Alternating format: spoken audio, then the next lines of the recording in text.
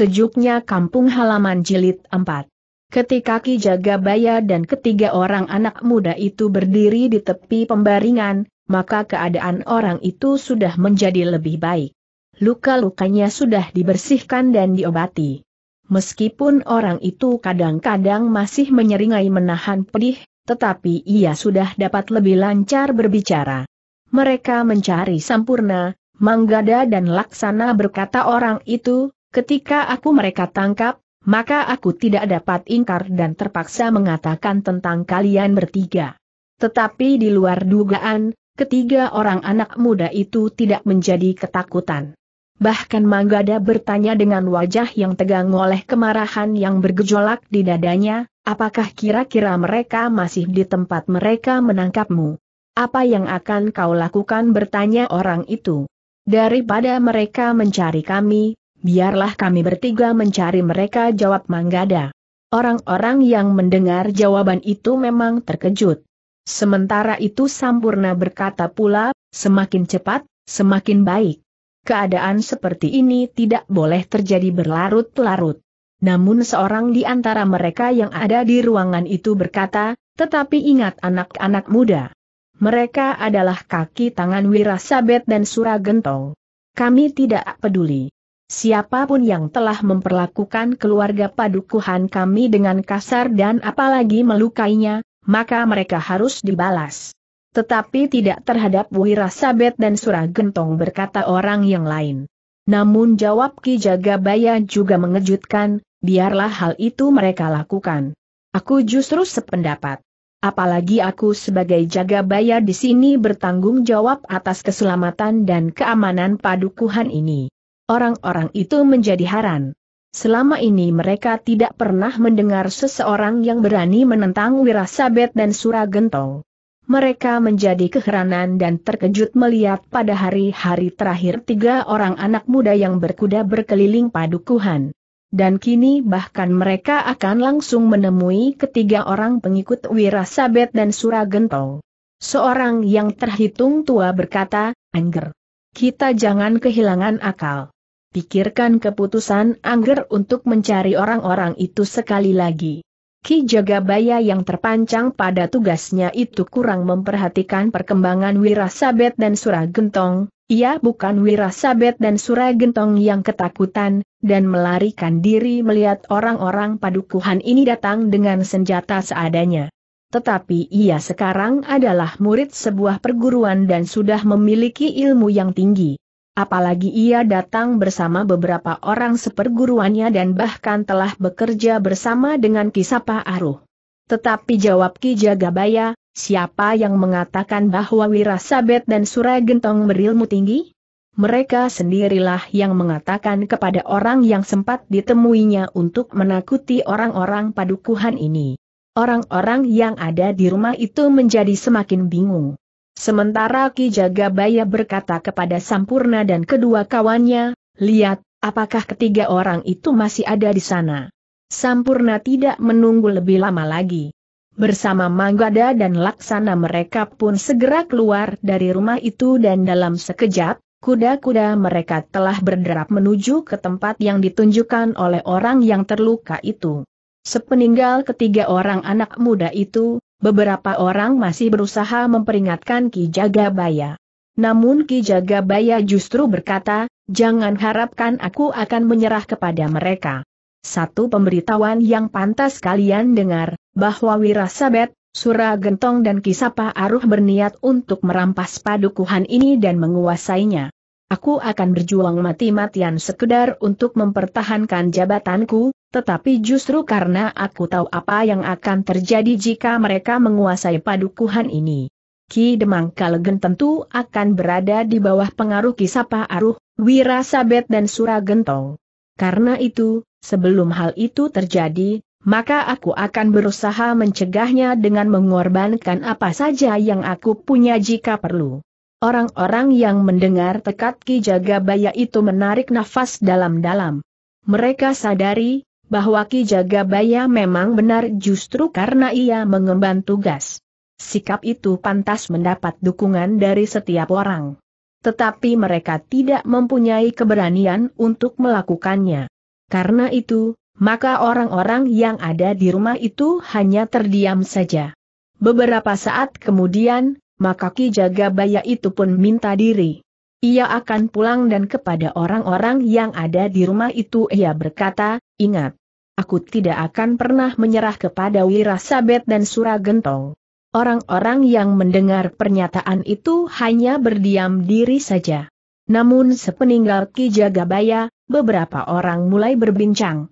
Mereka mulai menilai sikap Ki Jagabaya yang berani itu. Namun seorang di antara mereka berkata, Ki Jagabaya nampaknya memang seorang bebahu padukuhan yang baik. Tetapi sikap Ki Jagabaya dan anaknya serta kedua kawannya itu dapat berakibat sangat buruk bagi kami. Mungkin Ki Jagabaya sendiri mampu melindungi dirinya sendiri. Tetapi apa yang dapat kami lakukan terhadap para pengikut Wirasabet dan Suragentong? Mereka hari ini melukai seorang warga padukuhan ini. Besok lagi, besok lagi dan bahkan mungkin mereka mulai membunuh. Kita minta pertanggungjawaban Ki Jagabaya sahut yang lain. Yang dapat dilakukan oleh Ki Jagabaya memang sangat terbatas. Mungkin ia sendiri akan mengalami kesulitan untuk melindungi dirinya dan keluarganya jika Wirasabet dan Suragentong benar-benar mulai bertindak kasar berkata yang lain lagi. Seorang yang bermata dalam tiba-tiba saja berkata, kita akan minta kepada Ki Jagabaya untuk menghentikan perlawanannya. Ternyata pendapat itu mendapat dukungan beberapa orang. Seorang yang bertubuh tinggi berkata, aku setuju. Ki Jagabaya harus menghentikan perlawanannya. Namun mereka tidak berani berbincang terlalu lama. Jika para pengikut Wirasabet dan Suragentong melihat mereka berkumpul, maka mungkin akan dapat terjadi salah paham yang dapat berakibat buruk bagi mereka. Karena itu maka mereka pun segera meninggalkan halaman rumah itu. Bahkan orang yang terluka itu pun telah minta diri pula, karena menurut pendapatnya, ia sudah dapat berjalan sampai ke rumahnya. Tetapi salah seorang laki-laki yang menolongnya berkata, marilah. Aku antar kau sampai ke rumah. Dalam pada itu, maka Sampuren, Manggada dan Laksana telah sampai ke bulak persawahan. Orang yang disakiti itu mengatakan bahwa di tempat itu mereka bertemu dengan tiga orang yang menanyakan tentang tiga orang anak muda yang sering berkuda mengelilingi padukuhan Gemawang. Namun mereka sudah tidak menjumpai seorang pun. Iblis itu tentu sudah kembali ke sarangnya geram Sampurna menahan marah. Besok kita akan menemui mereka sahut Manggada. Mudah-mudahan mereka benar-benar mencari kita berkata laksana pula. Sampurna menarik nafas dalam-dalam. Namun kemudian ia bertanya, lalu, apa yang akan kita lakukan sekarang? Tidak ada jawab Manggada, kita kembali ke padukuhan. Kita katakan kepada orang-orang yang ketakutan itu, bahwa mereka tidak perlu takut menghadapi Wirasabet dan Suragentong. Bahkan Kisapa Aruh. Demikianlah, maka mereka bertiga telah berderap kembali memasuki padukuhan. Tetapi rumah tempat orang yang terluka itu mendapat pertolongan sebentar, ternyata sudah menjadi sepi. Demikianlah, ketiga orang anak muda itu pun langsung menuju ke rumah Ki Jagabaya. Tetapi ketiga anak muda itu terkejut ketika mereka melihat dua orang yang sedang berbincang dengan Ki Jagabaya di Serambi. Agaknya pembicaraan mereka tidak menemukan titik temu, sehingga nampaknya sedang terjadi perselisihan di antara mereka dengan Ki Jagabaya. Ketika ketiga orang anak muda itu ikut duduk di serambi, maka mereka segera mengetahui bahwa orang itu telah minta kepada Ki Jagabaya untuk tidak melakukan perlawanan terhadap Wirasabet dan Suragentong. Orang yang datang itu adalah orang yang bermata dalam yang ada pula di antara orang-orang yang mengerumuni orang yang dilukai oleh pengikut Wirasabet dan Suragentong itu. Ki Jagabaya berkata orang bermata dalam itu tanpa menghiraukan ketiga orang anak muda yang ikut duduk di serambi itu, Ki Jagabaya jangan terpancang pada kedudukan Ki Jagabaya. Mungkin Ki Jagabaya benar. Tetapi sama sekali tidak berperhitungan. Nah, sekarang korban telah mulai jatuh. Untung orang itu tidak dibunuh oleh pengikut Wirasabet dan Suragentong. Pembicaraan mereka ternyata terputus ketika mereka mendengar pintu sekeeng diketuk orang. Selagi mereka bertanya-tanya siapa lagi yang telah datang, maka terdengar suara seseorang memanggil, namun yang dipanggil adalah justru nama Tantri. Ki Jagabaya itu pun segera mengetahui bahwa yang datang adalah Wisesa. Dengan kesal Sampurna bangkit dan melangkah menuju ke pintu. Sebenarnya lah bahwa yang berdiri di belakang pintu adalah Wisesa. Marilah Sampurna mempersilahkan. Setelah menutup dan menyelarak pintu, maka Sampurna telah mengajak Wisesa untuk duduk pula di serambi itu. Dalam pada itu, Ki Jagabaya yang tidak menghiraukan kehadiran Wisesa itu pun kemudian berkata kepada orang yang bermata dalam itu, dengar jawabanku sekali lagi. Aku tidak akan pernah tunduk kepada tekanan Wirasabet dan Suragentong. Aku berharap orang-orang padukuhan ini bersedia bersamaku menentang mereka. Tetapi jika kalian tidak berani, maka jangan menghambat usaha kami. Kami tidak mungkin tinggal diam. Ki Jagabaya, karena yang akan mengalami bencana adalah kami, orang-orang sepadukuhan jawab orang itu. Nah, kau tahu kenapa demikian bertanya Ki Jagabaya. Orang itu tidak segera menjawab. Dengar berkata Ki Jagabaya, karena mereka sebenarnya adalah penakut. Mereka sama sekali tidak berani berbuat apa-apa kepadaku. Kepada anakku dan kepada anak-anak muda ini aku dan anak-anak ini tidak mempunyai kelebihan apa-apa dari kalian. Tetapi karena kami berani menentang mereka, maka kami tidak menjadi sasaran usaha mereka menakut-nakuti orang-orang padukuhan ini. Tidak benar berkata orang itu, kami tahu Ki Jagabaya mempunyai kelebihan. Anak laki-laki Ki Jagabaya itu tentu juga merasa mempunyai kelebihan entahlah dengan anak dan kemanakan Ki Kertasana itu. Jadi kalian menganggap bahwa aku mempunyai kelebihan dari kalian bertanya Ki Jagabaya. Ya jawab orang itu. Jika demikian, yakinlah bahwa aku dan anak-anak muda ini berusaha untuk melindungi kalian berkata Ki Jagabaya. Tetapi itu tidak mungkin Ki Jagabaya berkata orang itu. Wira Sabet dan Suragentong serta beberapa orang saudara seperguruannya adalah orang-orang Linui. Omong kosong bentak Ki Jagabaya yang menjadi marah, mereka tidak berani datang kepadaku. Mereka tentu tahu, jika mereka mematahkan perlawananku, maka mereka tidak akan menemui perlawanan lagi di sini. Tetapi mereka tidak berani datang. Mereka menunggu satu kesempatan yang baik berkata orang yang bermata dalam itu.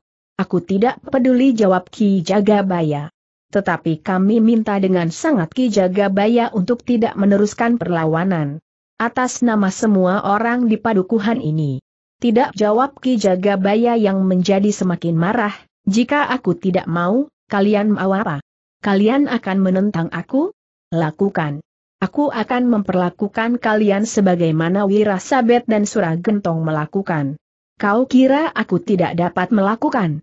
Kau kira aku tidak dapat menyakiti dan bahkan membunuh orang yang menentang aku? Aku tidak takut seandainya kalian semuanya berpihak Wirasabet dan Suragentong menentang aku. Aku tidak takut seandainya kalian semua ingin mengangkat Wirasabet dan Suragentong menjadi kami tua dan jaga bayar di padukuhan Gemawang serta mengangkat Kisapa Aruh menjadi bekal. Orang bermata dalam itu mengerutkan dahinya, sehingga matanya menjadi semakin dalam. Di luar sadarnya ia berkata, tentu kami tidak menghendakinya, Ki Jagabaya. Nah, sekarang kalian dapat memilih. Wira Sabet dan Suragentong atau aku geram Ki Jagabaya. Orang bermata dalam itu memang menjadi bingung.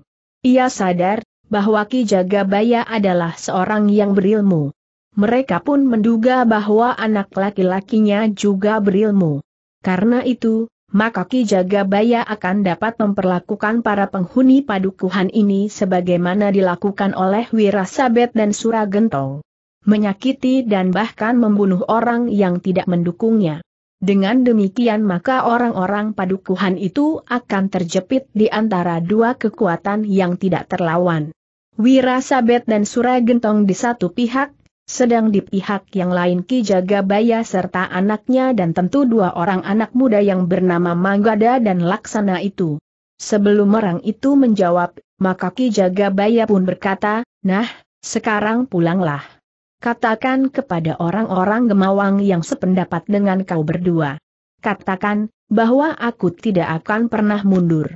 Aku akan menghancurkan siapa saja yang menentang aku.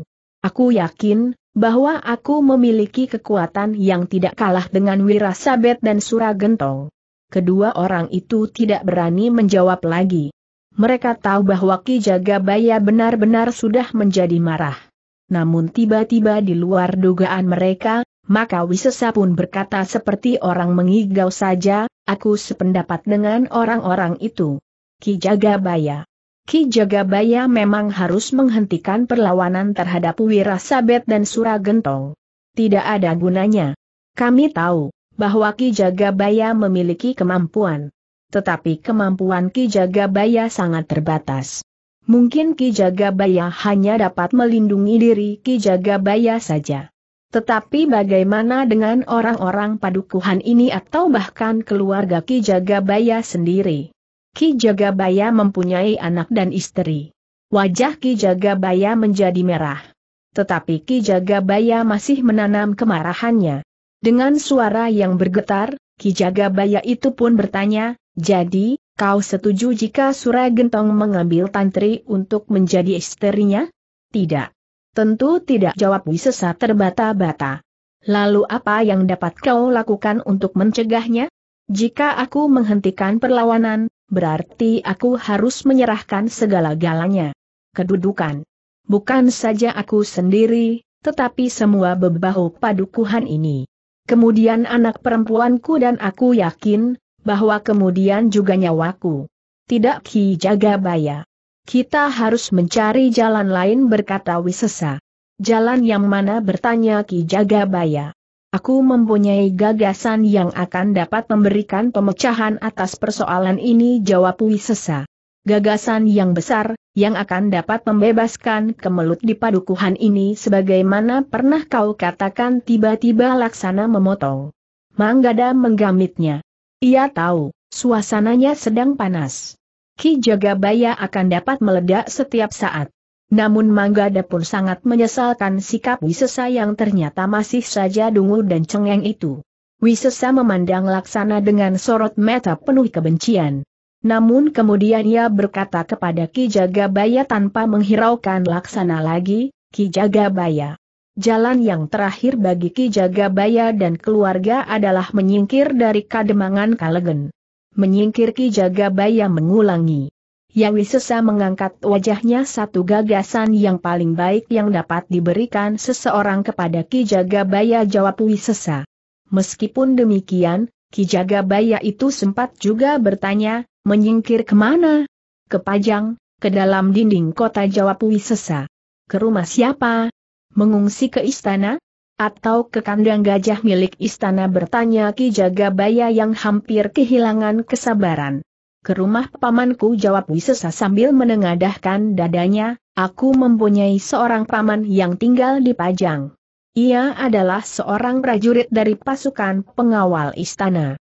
Ki Jagabaya dan keluarga Ki Jagabaya akan aman di rumah pamanku yang sangat besar itu.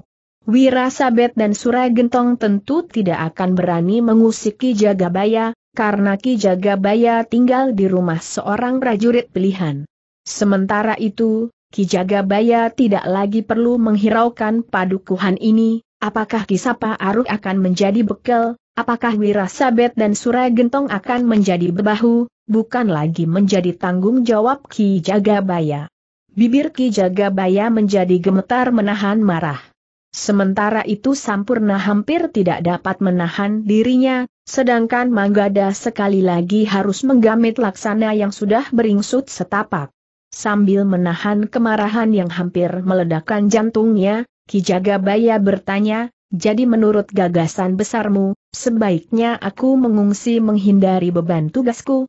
Bukan mengungsi Ki Jagabaya. Sebaiknya kita memang mempergunakan istilah menyingkir jawab Wisesa.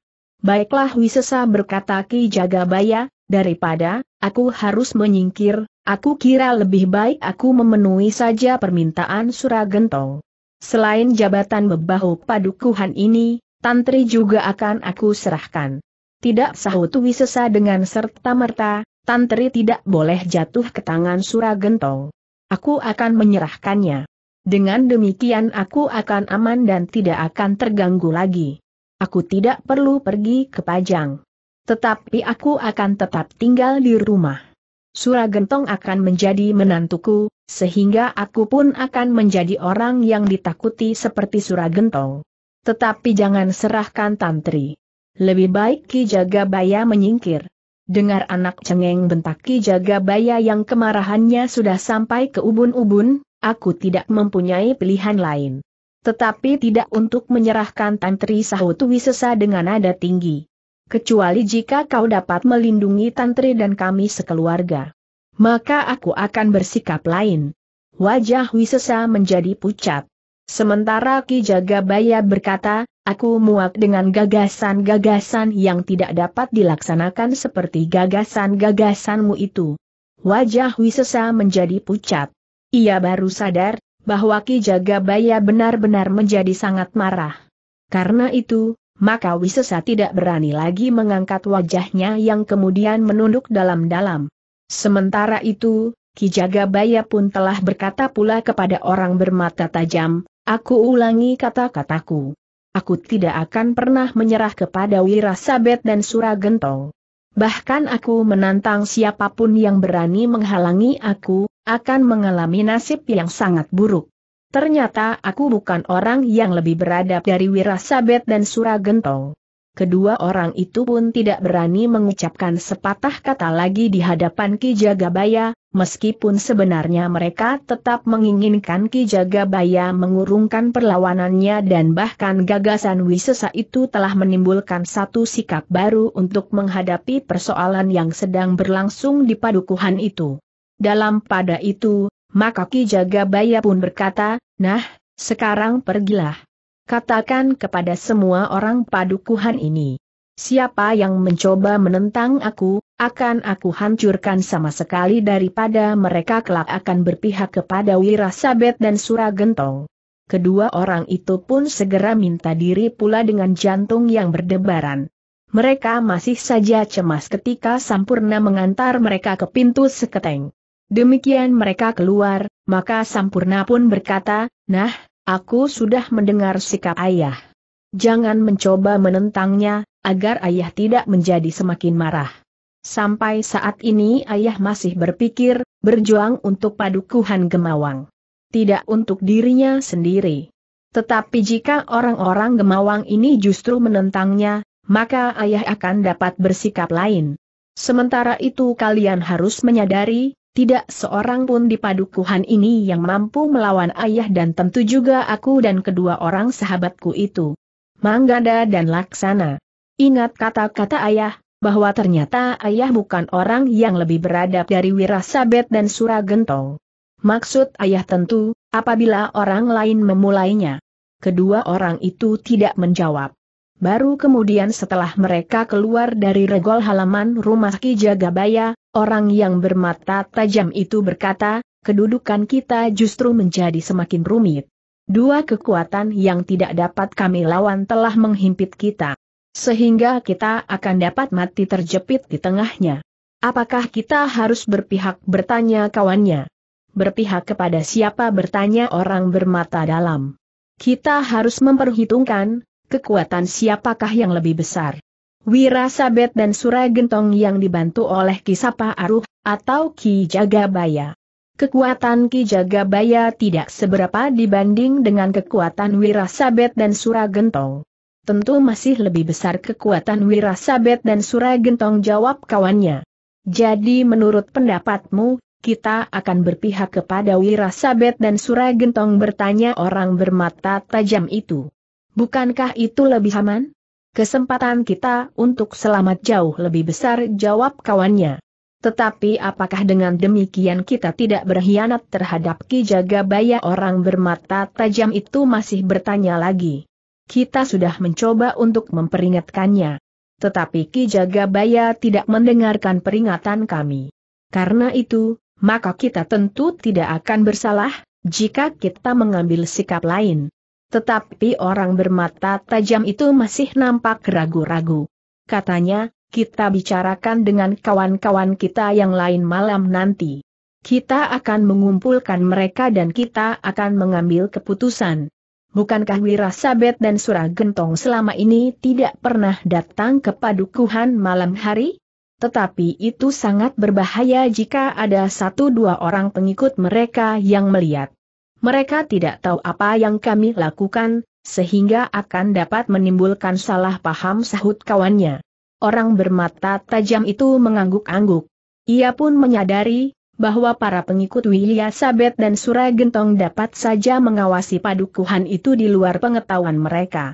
Karena itu, maka niat untuk bertemu dengan orang-orang padukuhan itu pun dibatalkannya.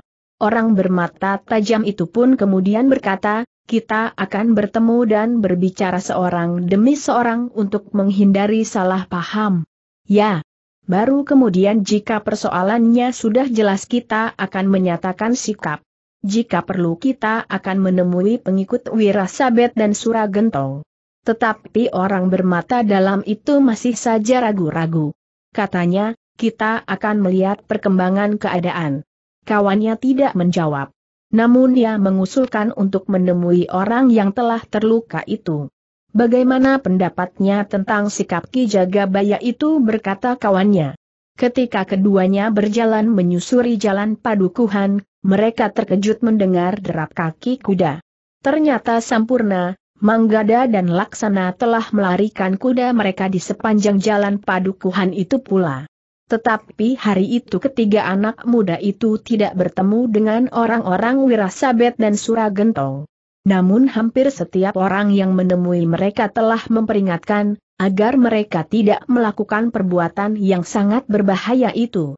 Mereka sedang mencari kalian ger berkata seorang yang rambutnya sudah ditumbuhi uban. Terima kasih atas peringatan paman jawab Sampurna, tetapi persoalannya harus segera diselesaikan. Orang yang rambut sudah ubanan itu hanya dapat menggelengkan kepalanya saja. Sementara itu, kawan orang yang bermata dalam itu berdesis, biarkan saja mereka menyombongkan dirinya. Aku juga berharap bahwa mereka benar-benar akan bertemu dengan orang-orang Wirasabet dan Suragentong yang mencari mereka. Kawannya yang bermata dalam itu tidak menjawab. Ketika matahari turun semakin rendah, maka ketiga orang anak muda itu pun telah pulang ke rumah mereka masing-masing. Namun mereka telah berjanji, di keesokan harinya mereka akan mencari para pengikut Wirasabet dan Suragentong. Dalam pada itu, lepas senja, setelah makan malam, Ki Jagabaya masih berbincang dengan istri dan anak-anaknya. Ki Jagabaya ternyata sangat menyesali sikap orang-orang padukuhan Gemawang. Mereka justru minta agar Ki Jagabaya menghentikan perlawanannya terhadap Wirasabet dan Suragentong. Orang-orang itu benar-benar telah menjadi ketakutan berkata Sampurna. Ya, mereka kehilangan akal. Sementara itu, Wisesa masih saja gila dengan gagasan-gagasannya desis Ki Jagabaya. Hampir saja aku memukul mulutnya gumam sampurna. Pemimpin yang hidupnya tidak berjejak di atas tanah berkata Ki Jagabaya. Tetapi ia tidak rela jika Tantri diserahkan kepada Suragentong berkata Sampurna sambil memandang Tantri. Apa bertanya Tantri dengan suara melengking? Tidak jawab Sampurna. Apa yang kau katakan tadi desak tantri yang bergeser mendekati kakaknya? Tidak. Aku tidak berkata apa-apa sampurna bergeser menjauh sambil tersenyum. Kau mentertawakan aku, ya tantri mulai menggapai. Sampurna. Tetapi Sampurna bergeser semakin jauh, tidak. Aku tidak bermaksud mentertawakanmu. Aku justru mentertawakan Wisesa. Kau kira aku tidak berani memilih leher anak itu? Sejak kecil ia tidak berani melawan aku berkata Tantri. Tetapi ia rajin berkunjung kemari sahut Sampurna. Tantri tiba-tiba bangkit. Tetapi Sampurna meloncat menjauh sambil berkata, Sudahlah, Tantri. Aku menyerah. Tidak. Aku belum membalas sahut Tantri. Sudahlah potong Ki Jagabaya, aku benar-benar sedang prihatin. Tetapi ayah harus menghukumnya. Ia yang mula-mula mengganggu aku sahut Tantri. Duduklah yang baik berkata Ki Jagabaya. Keduanya pun segera duduk kembali. Sementara Ki Jagabaya berkata, apa yang dapat kita lakukan jika orang-orang padukuhan ini justru menentang kita? Ayah berkata sampurna kemudian bersungguh-sungguh, besok, aku, Manggada dan Laksana akan mencari orang-orang wirasabet itu. Kami tidak akan berdiam diri justru mereka mencari kami. Lalu, apa yang akan kalian lakukan bertanya Ki Jagabaya. Sampurna termangu-mangu sejenak. Namun kemudian katanya, bukankah mereka juga mencari kami? Ki Jagabaya mengangguk-angguk. Katanya, baiklah. Kita menunggu perkembangan keadaan. Dalam pada itu, di rumahnya Manggada dan Laksana juga menceritakan apa yang sudah terjadi. Mereka juga menyesali sikap orang-orang padukuhan Gemawang yang ketakutan, sehingga mereka kehilangan pertimbangan penalaran yang bening. Jika keadaan berlarut-larut, maka orang-orang padukuhan ini akan benar-benar kehilangan diri mereka desis Kicitra bawa. Seperti Sampurna, maka Manggada dan Laksana juga menyatakan, bahwa mereka bukan saja dicari oleh para pengikut Wirasabet dan Suragentong. Tetapi merekalah yang besok akan mencarinya. Demikianlah, kegelisahan dan ketegangan yang semakin memanas telah mewarnai padukuhan Gemawang. Beberapa orang sempat saling mengunjungi untuk membicarakan sikap Ki Jagabaya. Pada umumnya orang-orang Gemawang menganggap Ki Jagabaya itu seorang yang keras kepala, sehingga tidak mau melihat kenyataan yang dihadapinya. Bahkan ada yang menganggap bahwa Ki Jagabaya sekedar berjuang untuk mempertahankan kedudukannya. Ia sampai hati telah mengorbankan penghuni padukuhan ini berkata seorang di antara mereka yang ketakutan. Namun ketika matahari kemudian terbit di keesokan harinya, orang-orang padukuhan Gemawang telah mendengar derap kaki kuda berlari-lari di jalan-jalan padukuhan.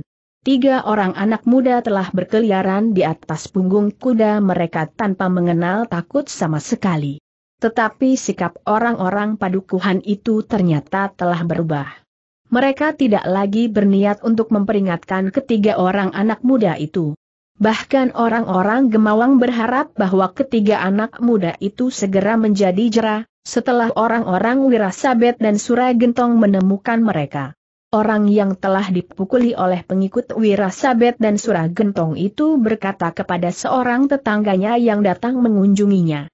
Ketiga orang itu tentu akan segera menemukan mereka setelah orang-orang Wirasabet dan Suragentong itu mengetahui siapa mereka itu. Jika ketiga orang anak muda itu sudah mengalami seperti yang aku alami, barulah mereka akan menjadi jera dan tidak akan menyombongkan dirinya lagi. Tetangganya mengangguk-angguk sambil bergumam, apakah karena ayahnya seorang jagabaya, maka anak itu menjadi demikian sombongnya. Anak itu salah menilai kekuatan ayahnya sekarang ini desis orang yang terluka itu. Namun dalam pada itu, Sampurna, Manggada dan Laksana masih saja menelusuri jalan-jalan padukuhan Gemawang tanpa mengenal takut sama sekali. Namun dalam pada itu, ternyata beberapa orang yang pergi ke sawah telah kembali lagi ke padukuhan. Mereka telah melihat tiga orang pengikut Wirasabet dan Suragentong menuju ke padukuhan. Seorang di antara mereka berjalan bergegas sambil berkata, selagi masih ada kesempatan, aku ingin memperingatkan anak-anak muda yang berkeliaran di atas punggung kuda itu.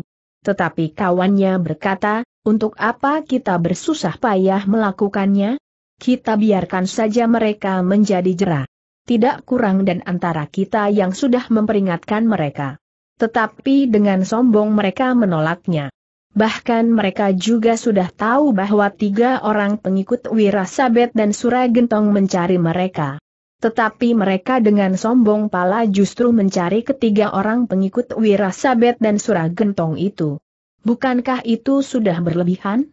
Seorang yang lain justru berkata, aku ingin melihat ketiga orang anak muda yang sombong itu dipukuli babak belur oleh pengikutnya Wirasabet dan Suragentong sebagaimana seorang dari antara kita kemarin.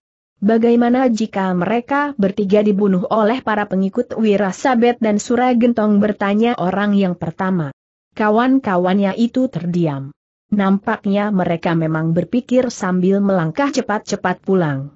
Tiba-tiba seorang dari antara mereka berkata, tidak. Mereka tidak akan dibunuh. Tetapi mereka akan dibuat jera dan bahkan kuda mereka akan dirampas. Itu saja. Yang lain mengangguk-angguk. Sementara itu, mereka telah memasuki padukuhan Gemawang. Berlari-lari kecil mereka berjalan di jalan padukuhan menuju ke rumah mereka masing-masing. Namun seorang di antara mereka masih berkata, aku ingin melihat anak-anak sombong itu dipukuli. Demikianlah, maka sejenak kemudian, orang-orang itu telah hilang di belakang regol halaman mereka masing-masing. Namun sebenarnya lah bahwa ada di antara mereka yang memang ingin melihat sempurna, Manggada dan Laksana disakiti oleh para pengikut Wirasabet dan Suragentong, agar mereka menjadi jerah. Bahkan dengan demikian Ki Jagabaya akan dapat menjadi sadar. Ternyata ketiga orang pengikut Wirasabet dan Suragentong itu telah memasuki padukuhan Gemawang tanpa mengenal takut. Seorang di antara mereka telah berteriak, Hi orang-orang Gemawang. Kali ini kami tidak akan berbuat apa-apa atas kalian. Jangan takut. Kami hanya akan menangkap ketiga orang anak muda yang sombong itu. Tetapi jika kita tidak berhasil menangkap mereka, maka kami akan mengambil tiga orang yang mana pun yang dapat kami tangkap di antara para penghuni padukuhan ini. Teriakan-teriakan itu bergema menusuk ke dalam setiap pintu rumah. Orang-orang gemawang itu menjadi ketakutan. Mereka berharap agar para pengikut Wirasabet dan Suragentong itu dapat bertemu dengan sempurna, Manggada dan Laksana. Namun dalam pada itu, tiba-tiba saja terdengar derap kaki kuda. Ternyata sempurna, Manggada dan Laksana yang menyusuri jalan padukuhan itu tidak mengetahui bahwa tiga orang pengikut Wirasabet dan Suragentong berada di padukuhan itu. Tidak ada seorang pun yang telah memberitahukan kepada mereka. Meskipun orang-orang yang berlari-lari kecil menghindari kehadiran ketiga orang pengikut Wirasabet dan Suragentong itu ada yang berpapasan dengan ketiga orang anak muda itu. Tetapi mereka tidak memberitahukannya. Namun orang-orang itu kemudian menjadi kecewa. Bagaimanapun juga mereka merasa ngeri, apa yang akan terjadi dengan ketiga orang anak muda itu apabila mereka benar-benar bertemu dengan orang-orang yang sedang mencari mereka itu. Demikian pula orang-orang yang berada di sebelah menyebelah jalan padukuhan. Baru saja mereka mendengar teriakan orang-orang yang mereka takuti itu, tiba-tiba mereka pun mendengar derap kaki kuda. Apa yang akan terjadi dengan anak-anak muda itu bertanya orang-orang itu di dalam hati mereka. Dalam pada itu, ketiga orang pengikut Wirasabet dan Suragentong yang juga mendengar derap kaki kuda segera bersiap. Mereka merasa bahwa mereka akan segera dapat melakukan tugas mereka dengan baik. Kita akan menangkap mereka dan membawa mereka menghadap Ki Wirasabet dan Ki Suragentong berkata salah seorang dari ketiga orang itu. Jika mereka melawan, kita benar-benar akan mempergunakan kekerasan desis yang lain. Mereka tidak berbicara lebih jauh. Mereka mulai melihat tiga orang anak muda di punggung kudanya mendekati mereka. Dengan serta-merta, maka ketiga orang itu pun segera berloncatan ke tengah jalan dan memberi isyarat ketiga orang penunggang kuda itu untuk berhenti. Sampurna yang berkuda di paling depan segera memberi isyarat pula kepada Manggada dan Laksana. Dengan serta-merta ketiganya telah menarik kendali kuda mereka sehingga ketiganya telah berhenti sebelah mereka menjadi terlalu dekat dengan ketiga orang itu. Tentu mereka itulah yang kita cari desis Sampurna. Laksana tidak menunggu lebih lama lagi. Ia adalah orang yang pertama meloncat turun dari punggung kudanya. Manggada dan Sampurna pun segera telah meloncat turun pula. Mereka telah mengikat kuda mereka pada batang perdu di pinggir jalan itu. Baru kemudian mereka bertiga melangkah mendekati ketiga orang yang telah menunggu itu. Ketiga orang pengikut Wirasabet dan Suragentong itu termangu-mangu sejenak. Mereka justru merasa heran. Ketiga orang anak muda itu sama sekali tidak nampak menjadi gentar. Mereka memang sombong geram salah seorang dari ketiga orang pengikut Wirasabet dan Suragentong itu. Kawannya pun menyahut, sebentar lagi mereka akan menjadi jerah. Sementara itu yang seorang lagi berkata, kita lumatkan dahulu mereka sebelum kita bawa menghadap Ki Wirasabet dan Ki Suragentong. Kedua kawannya tidak menyahut, sementara itu Laksana, Sampurna dan Manggada telah menjadi semakin dekat. Laksana yang berdiri di pating depan itulah yang bertanya, Hi, siapakah kalian yang telah berani menghentikan kami bertiga yang sedang menelusuri jalan-jalan padukuhan kami sendiri? Anak iblis geram orang tertua dari ketiga orang pengikut Wirasabet dan Suragentong itu, kau kira kau berbicara dengan siapa? Jika aku tahu, aku tidak akan bertanya sahut laksana dengan lantang. Kami datang untuk menangkap kalian dan membawa kalian ke tempat kami jawab salah seorang dari ketiga orang itu. Laksana tertawa. Katanya, kau kira, kau berbicara dengan siapa, hi? Ketiga orang itu menggeram. Hampir bersamaan mereka mengumpat. Seorang di antara mereka berkata, siapakah di antara kalian yang bernama Sampurna, anak Ki Jagabaya? Hampir bersamaan pula ketiga orang anak muda itu menjawab, aku. Tetapi mereka bertiga justru terkejut. Sejenak mereka saling berpandangan. Namun kemudian mereka bertiga tertawa meledak. Wajah ketiga orang pengikut Wirasabet dan Suragentong itu menjadi merah padam. Mereka sama sekali tidak mengira bahwa mereka akan mendapat perlakuan yang demikian menyakitkan hati dari tiga orang anak-anak yang masih muda, sementara seisi padukuhan itu menjadi ketakutan melihat mereka bertiga datang. Dengan suara bergetar menahan kemarahan, seorang di antara mereka berteriak, cukup. Aku akan mengoyak mulut kalian. Tetapi Laksana justru menjawab, jangan terlalu garang kisanak. Kalian tidak berarti apa-apa di sini.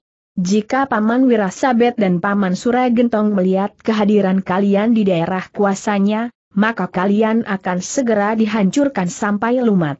Kau memang gila geram orang itu, aku adalah bagian dari kuasa Ki Wirasabet dan Ki Suragentong. Nah, kenapa kau tidak mengatakan sejak semula? Jika kami tahu bahwa kalian adalah bagian dari kuasa Paman Wirasabet dan Paman Suragentong, maka sampaikan salam kami kepada mereka. Khususnya kepada Paman Wirasabet. Hari ini, kami akan mengambil duet dan manggis di halaman rumahnya seperti biasanya. Kemarahan ketiga orang itu telah membakar ubun-ubun mereka. Karena itu, seorang di antara mereka berteriak, dengar, kami akan membuat kalian menjadi lumat kami akan mematahkan tulang-tulang kalian dan kemudian menyeret kalian menghadap Ki Wirasabet dan Ki Suragentong. Tetapi jawaban Laksana sangat menyakitkan hati, Hi, kenapa kalian hanya datang bertiga? Kalian tahu bahwa kami bertiga. Seharusnya kalian datang sedikitnya bersembilan, karena takaran kemampuan kami adalah tiga orang di antara kalian. Orang-orang itu ternyata tidak tahan lagi mendengar ucapan laksana itu. Karena itu, maka orang yang tertua di antara ketiga orang itu pun berteriak, selesaikan mereka dengan cara kita. Orang-orang yang tinggal di pinggir jalan itu menjadi berdebar-debar. Mereka mendengar bentakan-bentakan kasar. Tetapi mereka juga mendengar suara tertawa nyaring. Bahkan satu dua kalimat dapat mereka dengar ketika kalimat-kalimat itu diucapkan dengan keras. Mereka mendengar ancaman-ancaman yang mengerikan. Sementara suara tertawa membuat mereka menjadi bingung. Anak-anak muda itu nampaknya sama sekali tidak menjadi ketakutan berkata orang-orang di sebelah menyebelah jalan itu kepada diri sendiri. Apalagi ketika kemudian mereka mendengar seseorang berkata keras-keras, jangan ganggu aku. Aku akan menyelesaikan ketiga orang itu seorang diri. Kecuali jika aku akan mati di tangan mereka. Kata-kata itu ternyata telah diucapkan oleh Laksana. Sampurna termangu-mangu sejenak. Sementara Mangganda berkata, kita lihat saja apakah anak sombong itu dapat benar-benar berhasil. Sampurna tidak segera menjawab. Namun Laksana pun berkata sambil tertawa, kalian tidak usah ragu-ragu. aku tentu akan berhasil. Kemarahan ketiga orang pengikut Wirasabet dan Suragentong yang merasa ditakuti oleh orang sepadukuhan itu benar-benar tidak tertahankan lagi. Karena itu, sebelum Laksana selesai berbicara, maka seorang di antara mereka telah meloncat menyerang dengan garangnya. Tetapi Laksana benar-benar tangkas. Ia masih menyelesaikan kalimatnya ketika ia meloncat mengelak. Bahkan ia berkata lebih lanjut, minggir. Aku akan menunjukkan satu permainan yang bagus bagi kalian. Kedua orang pengikut Wirasabet dan Suragentong yang lain pun telah menyerang laksana pula. Seorang di antara mereka berkata, kita koyakan mulutnya lebih dahulu. Baru kita selesaikan yang lain. Tetapi laksana yang pernah ditempa oleh ayahnya sendiri bersama Manggada, yang kemudian mendapat landasan ilmu dari Ki Ajar Pangukan dan pengalaman yang luas selama ia tinggal bersama Kiai Gumrah dan yang terakhir tapangidang di hutan, telah membuatnya menjadi anak muda pilihan. Karena itu, maka ia benar-benar berniat memberikan kesan yang mantap kepada orang-orang padukuhan Gemawang serta kepada para pengikut Wirasabet dan Suragentong, bahwa padukuhan Gemawang tidak perlu menjadi ketakutan. Kesan itu ternyata tidak tanggung-tanggung. Ia sendiri berniat untuk mengalahkan ketiga orang pengikut Wirasabet dan Suragentong, agar dengan demikian, yang terjadi itu akan benar-benar dapat meyakinkan. Demikianlah, maka sejenak kemudian telah terjadi perkelahian antara Laksana dan ketiga orang itu. Seperti kijang Laksana berloncatan. Kakinya menjadi demikian ringannya sehingga seakan-akan tidak berjejak di atas tanah. Tetapi ketiga lawannya juga bukan orang kebanyakan. Mereka adalah orang-orang yang sudah berpengalaman melakukan kekerasan. Namun agaknya mereka tidak dilandasi oleh dasar-dasar ilmu yang mapan. Karena itu, maka mereka meskipun bertiga, tidak segera dapat mengatasi lawannya yang hanya seorang dan tidak lebih dari anak yang masih terlalu muda bagi mereka. Dalam pada itu, orang-orang yang tinggal di sebelah menyebelah jalan itu benar-benar dicengkam oleh ketegangan. Seorang yang memiliki sedikit keberanian telah dengan sangat hati-hati mendekati pintu regol, dari sela-sela pintunya yang sedikit terbuka ia sempat melihat apa yang terjadi. Orang itu hampir tidak percaya kepada penglihatannya.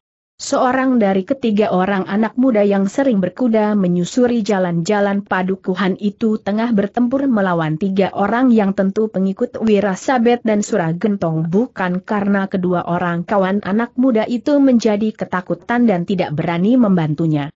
Tetapi kedua anak muda yang lain berdiri di pinggir jalan dengan gaya orang yang sedang menonton aduan ayam di kalangan. Apa yang sebenarnya terjadi bertanya orang itu kepada diri sendiri. Namun di luar sadarnya, maka orang itu justru tidak beranjak dari tempatnya.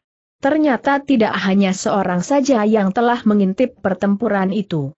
Di seberang jalan, di balik pintu regol yang sedikit terbuka, maka seseorang telah mengintip pula.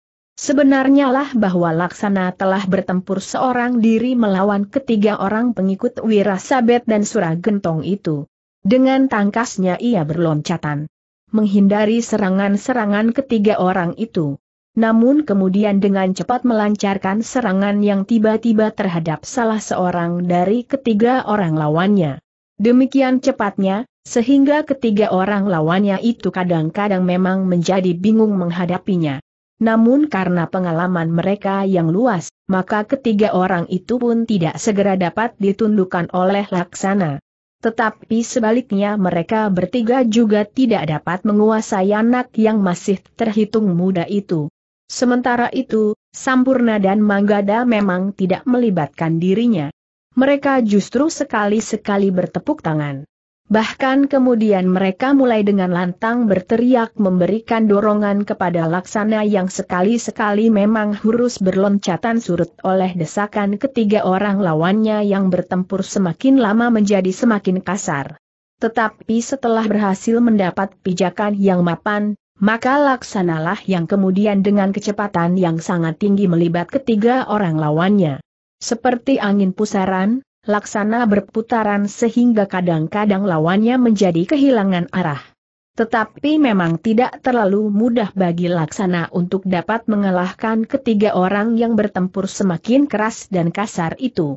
Laksana harus meningkatkan kemampuannya semakin tinggi. Tetapi latihan-latihan yang berat sebelumnya, telah memberikan bekal yang sangat berarti bagi Laksana menghadapi ketiga orang pengikut Wira Sabet dan Suragentong itu. Sementara itu teriakan-teriakan Sampurna dan Manggada memang menarik perhatian. Orang-orang yang tinggal tidak jauh dari tempat pertempuran itu terjadi, menjadi semakin tidak mengerti apa yang telah terjadi.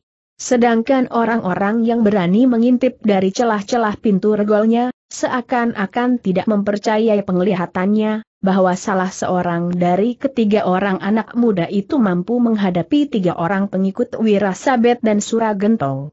Sesuatu yang menurut mereka hanya dapat terjadi dalam mimpi yang akan terhapus saat mereka terbangun. Tetapi meskipun mereka mengusap mata mereka, yang terjadi itu memang telah terjadi. Laksana yang bertempur melawan tiga orang lawannya yang bertempur dengan keras dan kasar itu justru menjadi semakin garang, kakinya berloncaran dengan cepat, seakan-akan tidak berjejak di atas tanah. Sekali-sekali ia melenting menyerang, namun kemudian meloncat menghindari serangan. Ketiga orang tawannya yang sudah mulai kelelahan menjadi sangat marah.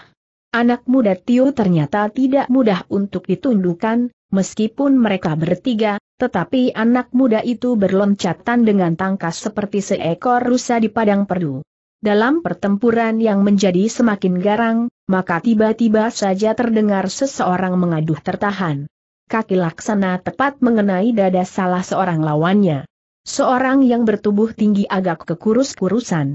Orang itu ternyata telah terlempar beberapa langkah dan jatuh terbanting di tanah. Untunglah bahwa kepalanya tidak membentur dinding halaman di pinggir jalan itu. Sementara kedua kawannya masih bertempur terus, maka orang itu berusaha untuk bangkit. Dadanya terasa sesak dan nyeri. Seakan-akan tulang-tulang iganya menjadi retak.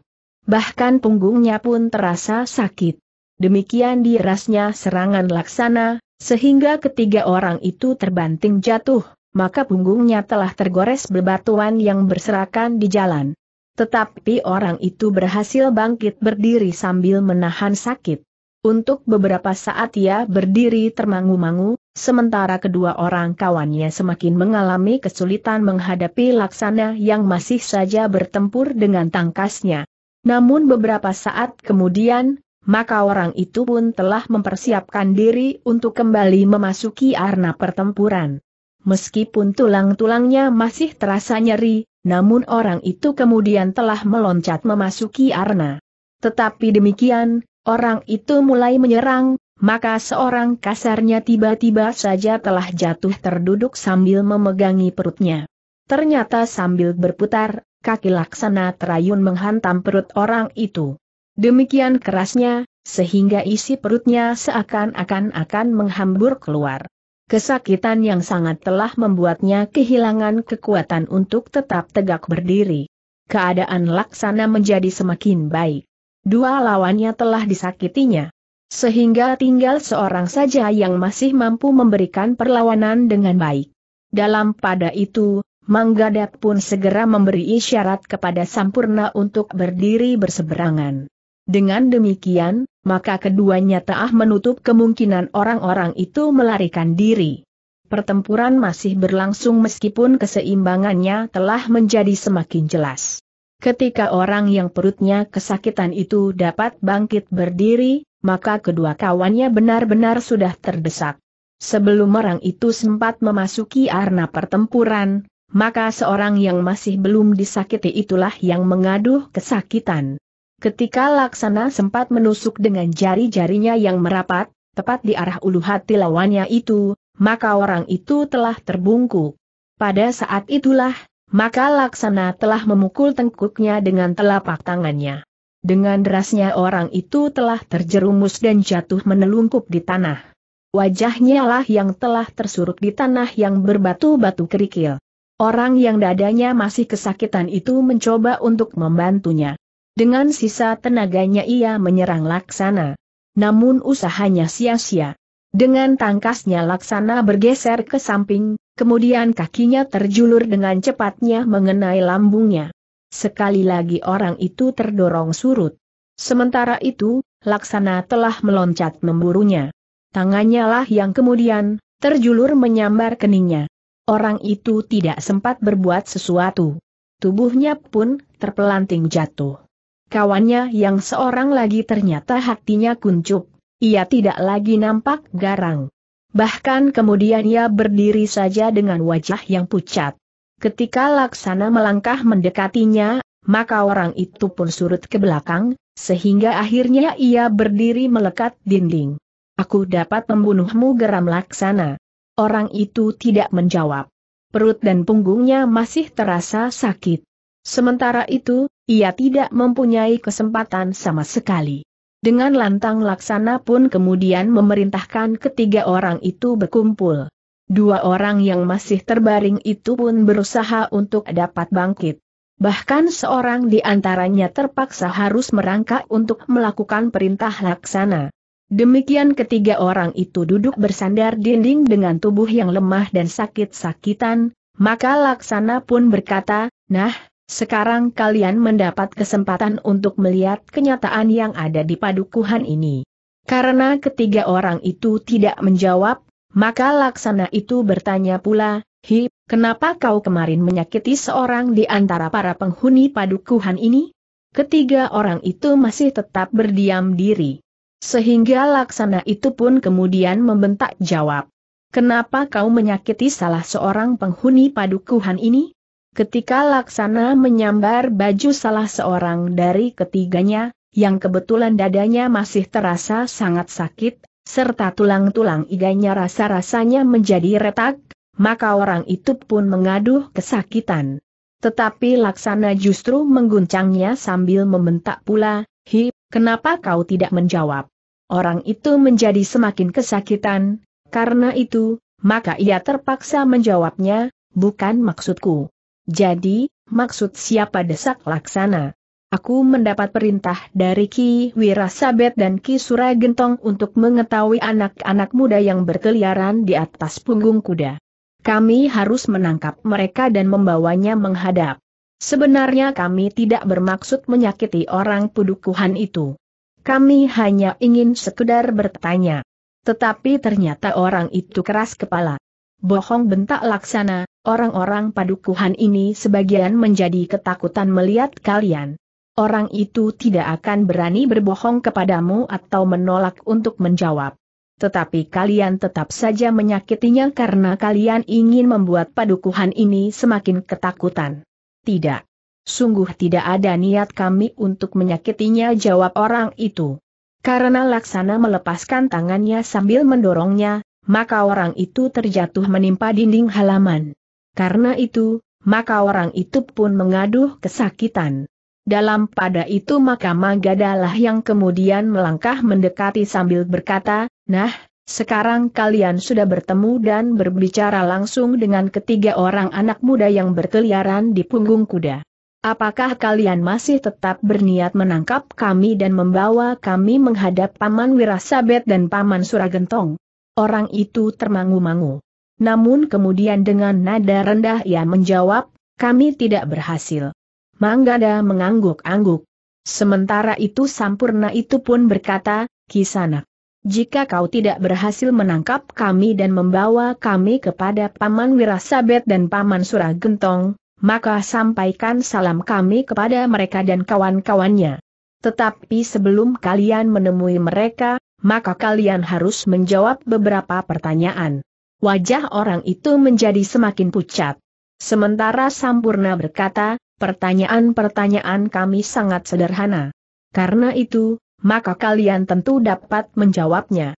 Kami tidak akan menjawab pertanyaan-pertanyaan jawab orang yang dadanya masih terasa sakit itu. Terserah kepada kalian berkata Sampurna, tetapi sebelum kalian menjawab pertanyaan-pertanyaan kami, maka kalian tidak akan kami lepaskan. Kalian tidak akan berani berbuat seperti itu berkata orang itu. Kenapa bertanya Sampurna? Jika kami tidak kembali pada saat yang ditentukan, maka Ki Wirasabet dan Ki Suragentong akan datang sendiri kemari. Menarik sekali berkata Sampurna, itulah salah satu pertanyaan yang ingin aku sampaikan kepada kalian. Kapan Paman Wirasabet dan Paman Suragentong akan datang kemari? Karena itu, maka sebaiknya kami menahan kalian bertiga sampai mereka benar-benar datang orang itu mengumpat di dalam hati. Sementara itu kawannya yang perutnya masih terasa sakit itu pun berkata, jika Ki Wirasabet dan Ki Suragentong datang kemari, mereka tentu tidak hanya berdua. Tentu bersama Pideksa dan beberapa orang pengawal. Bagus sahut Sampurna, di sini kami tinggal bersuit saja anak-anak muda akan berdatangan untuk menyambut Paman Wirasabet dan Paman Suragentong serta para pengawalnya. Tetapi orang yang wajahnya tersuruk ke tanah dengan goresan-goresan kecil yang menjadi merah itu berkata, aku tidak yakin, bahwa anak-anak muda padukuhan ini berani dari keluar gol halaman rumahnya. Jawaban itu membuat Sampurna menjadi marah. Tiba-tiba saja tangannya telah menampar wajah orang itu, sehingga orang itu mengadu kesakitan. Goresan-goresan yang berwarna merah itu sudah terasa pedih, apalagi telapak tangan sampurna itu. Kau menghina kami geram sampurna. Orang itu tidak berbicara lagi. Apalagi ketika terasa darah yang hangat mengalir di sela-sela bibirnya yang pecah. Yang kemudian bertanya adalah Manggada, Kisanak. Katakan kepada kami, di mana tempat tinggal Paman Wirasabet dan Paman Suragentong. Jantung ketiga orang itu rasa-rasanya berdetak semakin cepat. Pertanyaan itu adalah pertanyaan yang sangat menakutkan. Mereka bertiga tentu tidak akan dapat menunjukkan di mana tempat tinggal Wirasabet dan Suragentong. Tetapi jika mereka tidak mengatakan, maka ketiga anak muda itu tentu akan memaksanya. Anak-anak muda ini memang gila geram orang-orang itu di dalam hatinya. Mereka sama sekali tidak mengira bahwa di padukuhan Gemawang itu ada juga anak-anak muda yang berilmu tinggi. Manggada memang menunggu sejenak. Tetapi karena tidak ada di antara mereka yang menjawab, maka Manggada telah mengulangi lagi pertanyaannya, katakan kepada kami, di mana tempat tinggal Paman Wirasabet dan Paman Suragentong. Kami tidak mempunyai waktu banyak. Karena itu, sebaiknya kau tidak menunda-nunda jawaban kalian. Adalah di luar dugaan, bahwa orang yang bertubuh tinggi agak kekurus-kurusan itu berkata, anak-anak muda. Kalian tentu tahu, bahwa kami tidak akan dapat memberikan jawaban itu. Kami tahu, bahwa kalian dapat memaksa kami untuk berbicara dengan care kalian. Tetapi kami tetap tidak akan berani menjawab, karena jika terloncat dari mulut kami jawaban itu, maka nasib kami akan menjadi sangat buruk. Tetapi bukankah kau juga memaksa seorang dari penghuni padukuhan ini untuk mengatakan kepada kalian, siapakah kami bertiga? Orang itu terdiam lagi. Tetapi jantungnya menjadi semakin berdentangan. Kisanak berkata Manggada, kami dapat memperlakukan kalian sebagaimana kalian memperlakukan salah seorang tetangga kami yang baik. Bahkan kami dapat menahan kalian sampai kalian bersedia berbicara. Kami tidak takut apakah Paman Wirasabet dan Paman Suragentong datang kemari atau tidak. Bahkan seandainya mereka datang dengan saudara-saudara seperguruannya. Anak-anak muda berkata orang yang bertubuh tinggi itu, Bagaimanapun juga kami tidak akan memilih untuk mengatakan di mana tempat tinggal Ki Wirasabet dan Ki Suragentong. Seandainya kalian akan memperlakukan kami lebih buruk lagi dari perlakuan kami atas tetangga kalian itu, kami memang harus menjalaninya. Tetapi betapapun pahitnya penderitaan kami di tangan kalian, bagi kami tentu masih lebih baik dari hukuman yang akan kami terima jika kami menjawab pertanyaan kalian. Itukah duniamu? Dunia Paman Wirasabet dan Paman Suragentong. Ya jawab orang itu. Manggada menarik nafas dalam-dalam. Ketiga orang itu tentu tidak akan berani mengatakan apa-apa. Bahkan agaknya mereka akan memilih membunuh diri daripada dipaksa untuk mengatakan, di mana letaknya tempat tinggal Wirasabet dan Suragentong. Untuk membuktikan dugaannya itu maka Manggada pun berkata, Kisanak. Bagaimanapun juga, kami akan memaksa kalian untuk berbicara. Jangan mengira bahwa kami tidak dapat memperlakukan kalian lebih buruk dari Paman Wirasabet dan Suragentong. Kami dapat menghukum kalian dengan hukuman picis. Keringat dingin telah membasahi seluruh pakaian orang-orang itu bukan saja karena mereka telah memeras tenaganya untuk berkelahi dan kalah, tetapi mereka memang menjadi sangat ngeri mendengar hukuman picis yang disebut-sebut oleh anak muda itu. Meskipun demikian, mereka sama sekali tidak mempunyai keberanian untuk mengkhianati Wirasabet dan Suragentong. Untuk waktu yang cukup lama mereka telah dibentuk untuk menjadi seorang hamba yang setia. Setiap kali mereka selalu mendengar ancaman, bentakan dan bahkan kadang-kadang kekerasan badani. Namun kadang-kadang mereka juga disanjung dan diberi harapan-harapan bagi masa depan mereka. Karena orang itu masih saja ragu-ragu, maka Manggada pun berkata, nah, pertimbangkan lagi keputusan kalian. Apakah kalian akan berbicara atau tidak? Anak-anak muda berkata orang yang bertubuh tinggi kekurus-kurusan, aku mohon, bunuh saja kami kami tidak mempunyai kesempatan apa pun juga. Kematian tentu akan lebih baik daripada mengalami perlakuan Ki Wirasabet dan Ki Sira Gentong serta beberapa orang saudara seperguruan mereka.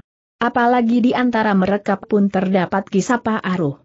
Ketiga orang anak muda itu saling berpandangan sejenak. Namun tiba-tiba saja Manggada berkata, baik. Jika kalian tidak mau menunjukkan tempat tinggal Paman Wirasabet dan Paman Suragentong, maka aku mempunyai usul. Kalian kami bebaskan tetapi dengan syarat bahwa kalian harus menangkap kami sebagaimana tugas yang diberikan kepada kalian dan membawa kami menghadap Paman Wirasabet dan Paman Suragentong. Wajah orang itu menjadi tegang. Dengan dahi yang berkerut ia bertanya, apakah kau bergurau? Tidak. Aku tidak bergurau jawab Manggada yang lalu bertanya kepada Laksana, apakah kau sependapat, bahwa kita akan menyerah saja dan biarlah ketiga orang itu menangkap dan membawa kita. Satu rencana yang bagus sahut Laksana, aku setuju. Kita akan sampai juga ke tempat tinggal Paman Wirasabet dan Paman Suragentong.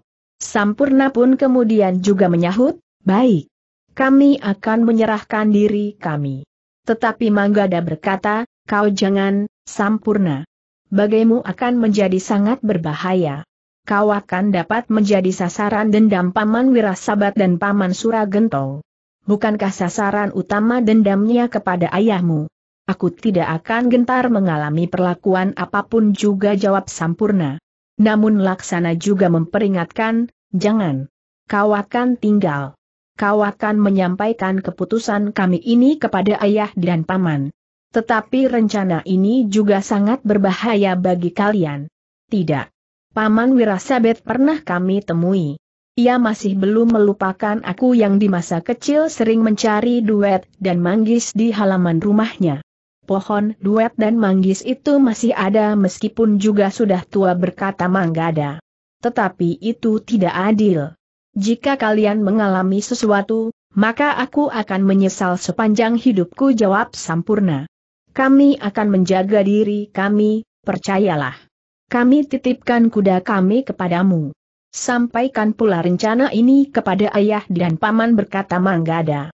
Lalu katanya, dengan demikian, biarlah ayah dan paman membuat rencana berikutnya dengan Ki Jagabaya untuk mengatasinya. Sampurna masih saja ragu-ragu. Sementara itu Manggada berkata, jika kau ikut bersama kami, maka tidak ada seorang pun yang dapat menyampaikan rencana ini kepada Ki Jagabaya dan kepada ayah serta paman. Sampurna akhirnya dapat diyakinkannya, sehingga ia pun kemudian bersedia untuk tinggal. Namun ketiga orang pengikut Wirasabet dan Suragentong itulah yang menjadi bingung. Karena itu, maka Manggada pun menjelaskan rencananya, nah, kalian dapat memilih. Tinggal di sini dengan hukuman picis, atau menangkap kami berdua dan membawa kami menghadap Paman Wirasabet dan Suragentong. Agar kalian tidak mendapat hukuman, maka kalian harus mengatakan kepada mereka, bahwa kalian berhasil menangkap kami berdua. Tetapi Sampurna berhasil meloloskan dirinya. Nah, jelas? Ketiga orang itu masih saja bingung. Seorang di antara mereka berkata, kami tidak akan dapat melakukannya. Jika kalian jatuh ke tangan Ki Wirasabet dan Ki Suragentong, maka nasib kalian akan menjadi sangat buruk. Kalian akan mengalami perlakuan yang tidak kalian bayangkan sebelumnya. Memang mungkin. Tetapi ini satu-satunya cara bagi kami untuk mengetahui tempat tinggal Paman Wirasabet dan Paman Suragentong. Selebihnya, kami akan dapat mengalami beberapa hal tentang isi tempat tinggal mereka. Tetapi orang itu menggeleng. Katanya, jangan lakukan itu. Sikap orang-orang itu memang menarik perhatian. Manggada dan Laksana bahkan percaya bahwa ketika orang itu tidak akan mencelakakan mereka dengan sengaja. Tetapi ketiga orang itu benar-benar menjadi bingung. Semula mereka menyangka bahwa anak-anak muda itu sekedar bergurau untuk mengganggu mereka yang telah gagal menjalankan tugas. Namun ternyata anak-anak muda itu bersungguh-sungguh. Sementara itu Manggada pun berkata, Kisanak, dengarkan. Kami telah mengampuni kesalahan kalian seharusnya kami dapat memperlakukan kalian apa saja sekehendak kami. Kami sama sekali tidak takut atas pembalasan Paman Wirasabet dan Suragentong. Tetapi kami tidak melakukannya. Karena itu, terserah tanggapan kalian atas tingkah laku kami. Sementara itu, kami minta kalian menangkap kami. Membawa kami berdua sebagaimana tugas yang dibebankan kepada kalian.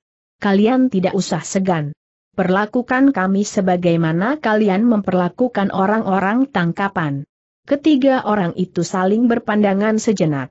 Sementara itu Manggada telah menarik Sampurna menjauh dan memberikan beberapa pesan kepadanya. Sampurna mengangguk-angguk, katanya hampir berbisik, baiklah. Aku akan mengusahakannya. Demikianlah, Manggada dan Laksana telah memaksa ketiga orang itu untuk membawanya. Dengan nada keras mengganda berkata, kesempatan ini adalah kesempatan terbaik bagi kalian. Apa pun yang terjadi atas diri kami, kalian tidak usah menghiraukannya. Sementara itu, Paman Wirasabet dan Paman Suragentong tidak akan menghukum kalian. Karena kalian tidak gagal sepenuhnya. Dua dari tiga orang telah dapat kalian tangkap tetapi kami tidak akan dapat menyaksikan perlakuan Ki Wirasabet dan Ki Suragepong atas kalian.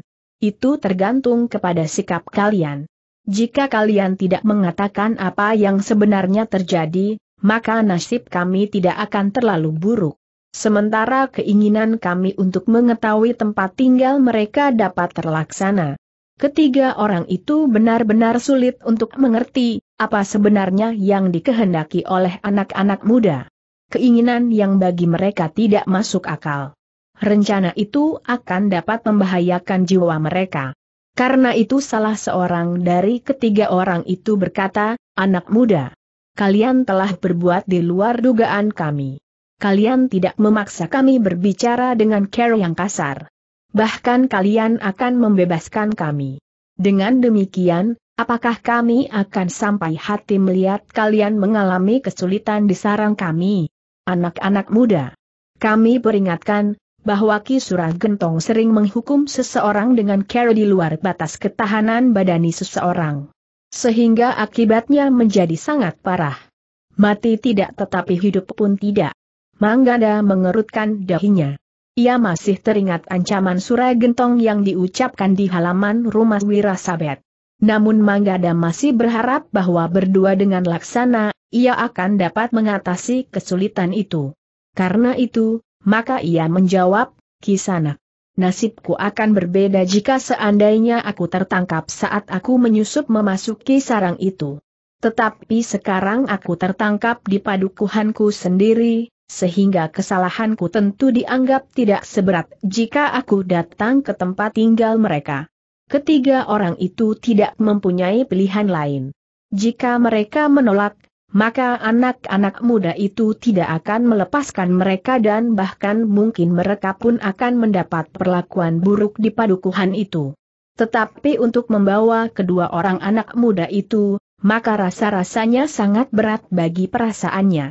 Bahkan ketiga orang itu sempat juga bertanya kepada diri mereka sendiri, apakah aku masih mempunyai perasaan?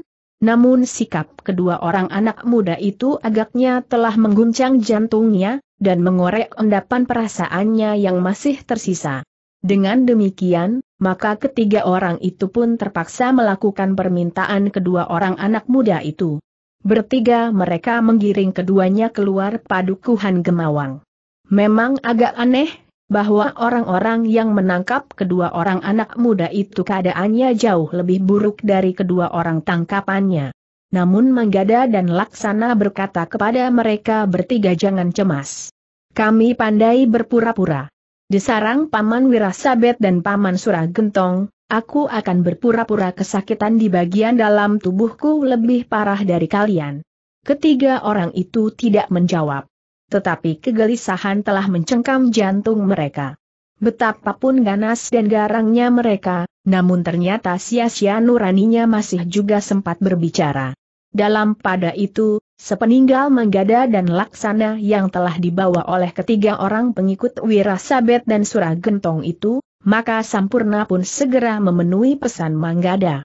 Cepat-cepat ia pergi ke rumah Ki Kertasana untuk memberitahukan keputusan yang telah diambil oleh Manggada dan Laksana. Ki Kertasana dan Ki Citrabawa memang terkejut. Dengan wajah tegang Ki Kertasana itu pun berdesis, satu petualangan yang tidak berperhitungan. Ketiga orang pengikut Wirasabet dan Suragentong itu justru telah memperingatkan mereka berkata sampurna, tetapi Manggada dan Laksana tetap pada keinginannya. Sebenarnya aku juga menyatakan ingin menyertai mereka, tetapi mereka menolak, karena dengan demikian tidak seorang pun yang dapat memberitahukan rencana ini kepada Paman. Ki Kertasana dan Ki Citrabawa memang menjadi tegang. Namun Ki Pandilah yang bertanya, apakah ada pesan yang lain yang harus Angger sampaikan? Ya jawab Sampurna, Manggada dan Laksana akan berusaha meninggalkan jejak di sepanjang perjalanan mereka. Ki Pandi itu pun mengangguk-angguk. Kemudian katanya, terima kasih Nger. Mudah-mudahan cara yang dipilihnya tidak berakibat sangat buruk bagi mereka. Namun Ki Pandi itu pun kemudian berkata kepada Ki Kertasana dan Ki Citra bahwa, aku minta diri. Mudah-mudahan ada cara untuk berbuat sesuatu. Apa yang akan Ki Pandi lakukan bertanya Ki Kertasana. Aku belum tahu. Setidak-tidaknya mengikuti jejak anak-anak itu sampai sejauh jejak itu aku ketemukan jawab Ki Pandi. Ki Kertasana dan Ki Citrabawa yang sudah menduga bahwa Ki Pandi tidak akan membiarkan kedua orang anak muda itu, tidak mencegahnya. Namun Ki Kertasana pun berpesan, hati-hati Ki Pandi. Kita berhadapan dengan orang-orang yang sakit hati dan menyimpan dendam yang dalam sekali di dalam hatinya. Tetapi dendam itu tidak mutlak ditujukan kepada Manggada dan Laksana jawab Ki Pandi. Dengan demikian, maka Ki Pandi itu pun kemudian telah meninggalkan rumah itu selelah ia mendapat petunjuk dari Sampurna, dari mana awal keberangkatan Manggada dan Laksana. Dengan cepat Ki Pandi menemukan isyarat pertama dari Manggada. Ketika ia sampai di ujung lorong, maka dilihatnya ranting perdu yang berpatahan terinjak kaki. Manggada dan Laksana tentu dengan sengaja melakukannya, karena mereka dengan sengaja telah meninggalkan jejak sebagaimana dikatakannya dalam pesannya lewat Sampurna. Dalam pada itu, yang juga menjadi pening adalah orang-orang yang sempat mengintip apa yang telah terjadi. Mereka tidak dapat mengerti apa yang dilakukan oleh Manggada dan Laksana. Bahkan ketika kedua orang anak muda itu dibawa pergi, beberapa orang telah muncul di jalan.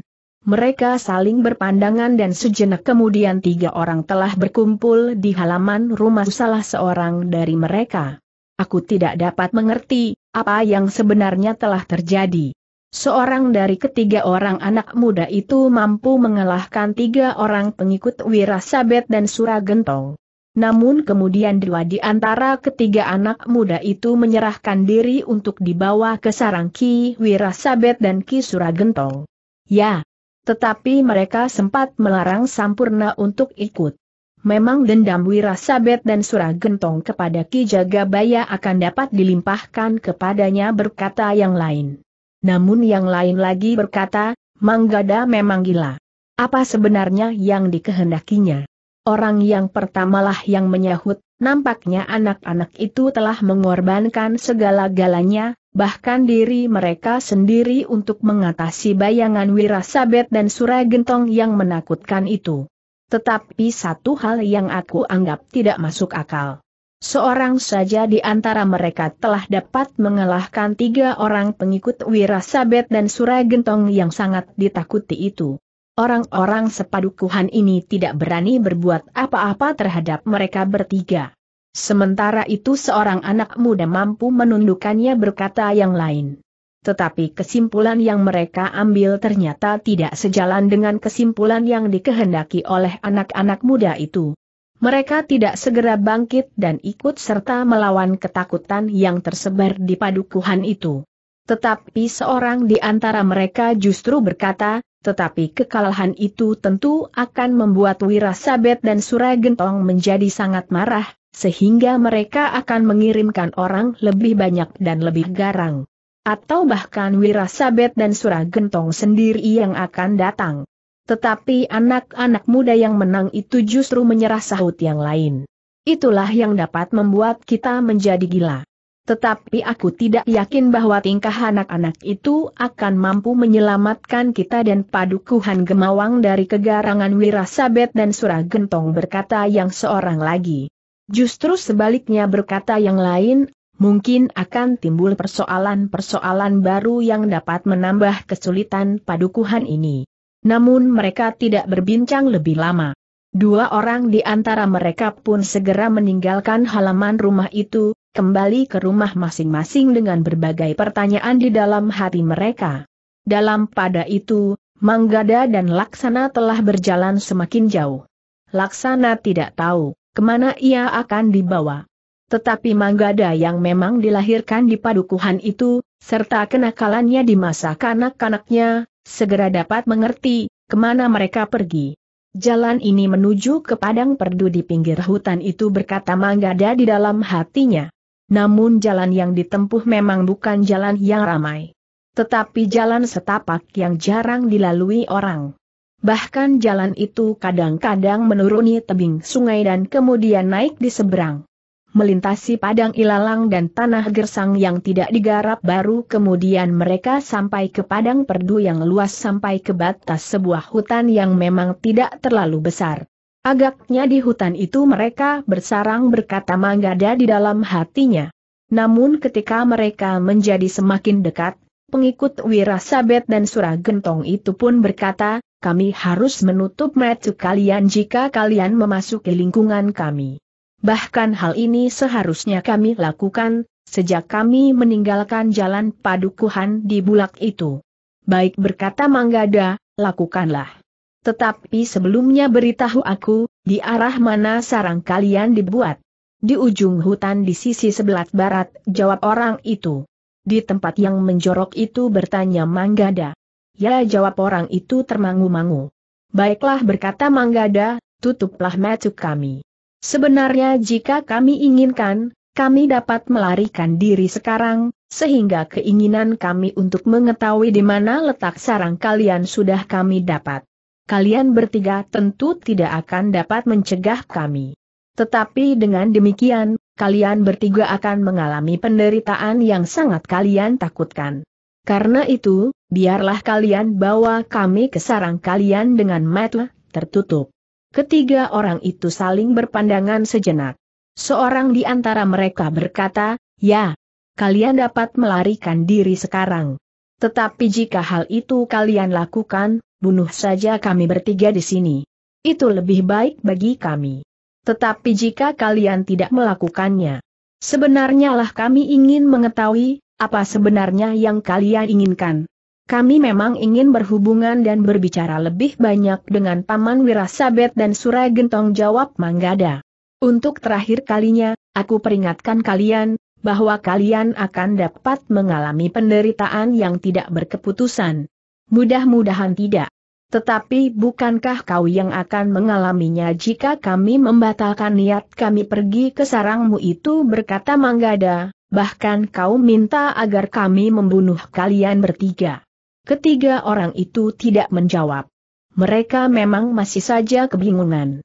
Sementara itu Manggada berkata pula, lekas, tutup mata kami sebelum kawan-kawanmu melihat apa yang terjadi sekarang. Orang-orang itu tidak menjawab. Namun mereka melakukan sebagaimana dikatakan oleh Manggada. Sejenak kemudian Manggada dan Laksana pun telah ditutup matanya. Mereka digiring menuju ke sarang Wirasabet dan Suragentong yang memang terletak di tempat yang terpencil dari hubungan dengan sesamanya. Kita sudah dekat desis orang yang bertubuh tinggi itu. Manggada pun berdesis, Laksana, kita harus menunjukkan bahwa kita dalam keadaan yang sulit. Bagaimana aku harus berpura-pura? Kau tentu dapat melakukannya jawab Manggada. Lalu katanya kepada pengikut Wirasabet dan Suragentong itu, lakukan tugas kalian dengan baik. Ketiga orang yang menggiringnya tidak menyaut. Sebenarnya lah mereka merasa segan untuk berbuat kasar kepada kedua orang anak muda yang tidak dapat dimengerti kemauannya itu. Namun ketika mereka mendekati pagar bambu yang rapat yang mengelilingi sebuah lingkungan yang menjadi barak hunian Wirasabet dan Suragentong, ketiga orang itu memang mulai menjadi kasar. Mereka mendorong Manggada dan Laksana berganti-ganti. Dari kejauhan, dua orang yang mengawasi keadaan di luar dinding barak itu sudah melihat, ketiga orang kawannya datang dengan membawa dua orang tawanan yang matanya tertutup rapat. Kenapa hanya dua desis yang seorang? Seharusnya tiga orang anak muda sahut yang lain. Tetapi keduanya pun terdiam. Sementara itu ketiga orang yang membawa Manggada dan Laksana itu berusaha untuk menghilangkan bekas atau rasa sakit dengan berjalan tegap tanpa memberikan kesan kesakitan. Ketika ketiga orang itu menjadi semakin dekat dengan dinding baraknya, maka mereka menjadi semakin kasar. Sementara itu sekali-sekali Manggada terhuyung-huyung hampir jatuh tertelungkup jika punggungnya disentuh oleh orang yang menggiringnya. Laksana yang tertutup matanya tidak melihat apa yang dilakukan oleh Manggada. Tetapi ia mendengar seakan-akan Manggada akan terjatuh. Karena itu, maka ia pun bertanya, apa yang terjadi? Manggada justru berdesah, SST. Aku pura-pura setengah mati kau harus melakukan juga. Jika tidak, maka semuanya akan sia-sia saja. Laksana terdiam. Sementara salah seorang yang menggiringnya itu berdesis, kita sudah dekat. Ada pengawas di depan. Manggada dan Laksana terdiam. Tetapi jika mereka didorong dengan kasar, maka mereka pun berpura-pura akan tertelungkup atau tingkah laku yang lain yang membuat mereka seolah-olah tidak berdaya lagi. Beberapa langkah mendekati dua orang pengawas itu, salah seorang dari ketiga orang yang menggiring Manggada dan Laksana yang ditutup matanya itu berkata, apakah Kilurah ada? Ada jawab salah seorang dari mereka, tetapi bukankah kau harus menangkap tiga orang anak muda? Iblis kecil yang seorang lagi sempat melarikan diri jawab orang itu, tetapi dua ini sudah mewakili. Kilurah menghendaki tiga berkata orang itu anak yang seorang itu penakut. Demikian ia melihat kami, maka dilarikannya kudanya menjauh. Tetapi yang dua orang ini tidak sempat melakukannya. Kedua orang pengawas itu mengangguk-angguk. Tetapi yang lain bertanya, tidak kau bawa kudanya itu? Kudanya berlari seperti sedang berpacu demikian, penunggangnya terjatuh. Kami gagal untuk menangkap. Tetapi orang-orangnya inilah yang lebih penting dari kudanya bagi kami jawab orang yang bertubuh tinggi itu. Kedua pengawas itu tidak bertanya lagi. Mereka membiarkan ketiga orang itu membawa Manggada dan Laksana memasuki regol pagar barak mereka. Sementara itu, Ki Pandi dengan hati-hati mengikuti jejak ketiga orang yang membawa Manggada dan Laksana. Tidak terlalu sulit baginya. Namun ketika jejak itu menuruni tebing sungai, maka Ki Pandi agak menjadi cemas. Jika mereka menelusuri sungai, maka tentu agak sulit baginya untuk mengikuti jejak mereka. Ia harus mencari jejak itu di seberang sungai, menelusuri tepian. tetapi yang masih dipertanyakan, ke arah hulu atau udik. Namun Ki Pandi tidak perlu bersusah payah. Ketika ia menyeberangi sungai itu, maka ia langsung dapat melihat jejak kaki di tepian. Jejak yang sengaja dibuat sebagaimana sebelumnya. Dengan demikian, Ki Pandi tidak menemukan kesulitan apa-apa untuk mengikuti arah perjalanan Manggada dan Laksana. Tetapi Ki Pandi tidak dapat mengikuti jejak itu sampai ke barak.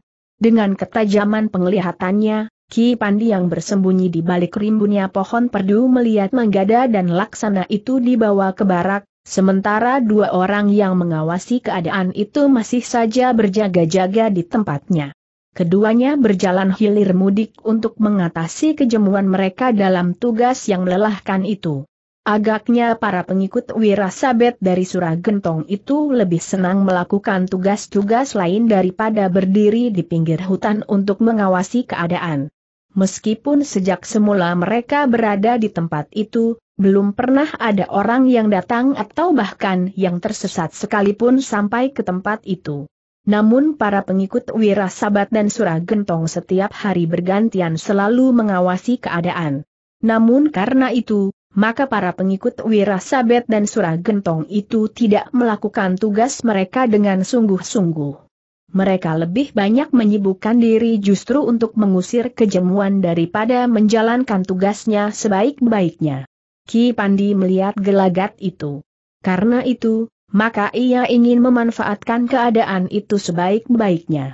Sebagai seorang yang berilmu tinggi dan mempunyai ketajaman panggeraita, maka Ki Pandi mampu beringsut dari balik gerumpul perdu yang satu ke balik gerumpul perdu yang lain, sehingga akhirnya Ki Pandi itu hilang ke dalam hutan. Dan dalam hutan itulah Ki Pandi ingin melihat apa yang ada di balik dinding yang cukup tinggi yang dibuat dari bambu yang berjajar rapat. Dalam pada itu, Manggada dan Laksana telah dibawa masuk ke dalam lingkungan barak itu. Di regol dua orang penjaga berdiri di sebelah menyebelah dengan tombak di tangan. Inikah anak-anak muda yang harus kau ambil bertanya seorang penjaga.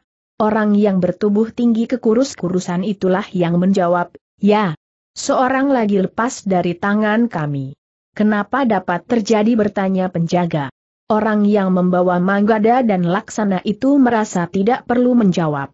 Karena itu, maka mereka pun berjalan terus menuju ke bangunan induk sarang Wirasabet dan Suragentong itu. Sekali-sekali mereka didorong ke arah yang benar, karena keduanya masih saja ditutup matanya. Manggada dan Laksana hampir jatuh terjerumus ketika kaki mereka terantuk tangga ketika mereka sampai di bagian depan bangunan induk barak itu yang cukup luas dan terbuka, yang dianggapnya sebagai pendapa. Tetapi seorang yang menggiring mereka cepat menangkap tengkuk Manggada dan sekaligus Laksana. Dengan kasar orang itu membentak, naik tangga itu, anak-anak dungu. Manggada dan Laksana pun kemudian melangkah dengan hati-hati, naik tangga pendapa yang rendah itu. Hanya tiga anak tangga desis Laksana. Orang-orang yang menggiringnya itu pun kemudian mendorong Manggada dan Laksana sambil membentak, duduk. Manggadi dan Laksana masih belum merasa berada di atas tikar. Karena itu, mereka agak ragu-ragu untuk duduk. Tetapi orang-orang yang menggiringnya itu telah mendorong mereka, sehingga Manggada telah terjatuh, sementara Laksana terhuyung-huyung beberapa langkah. Duduk bentak orang yang bertubuh tinggi kekurus-kurusan.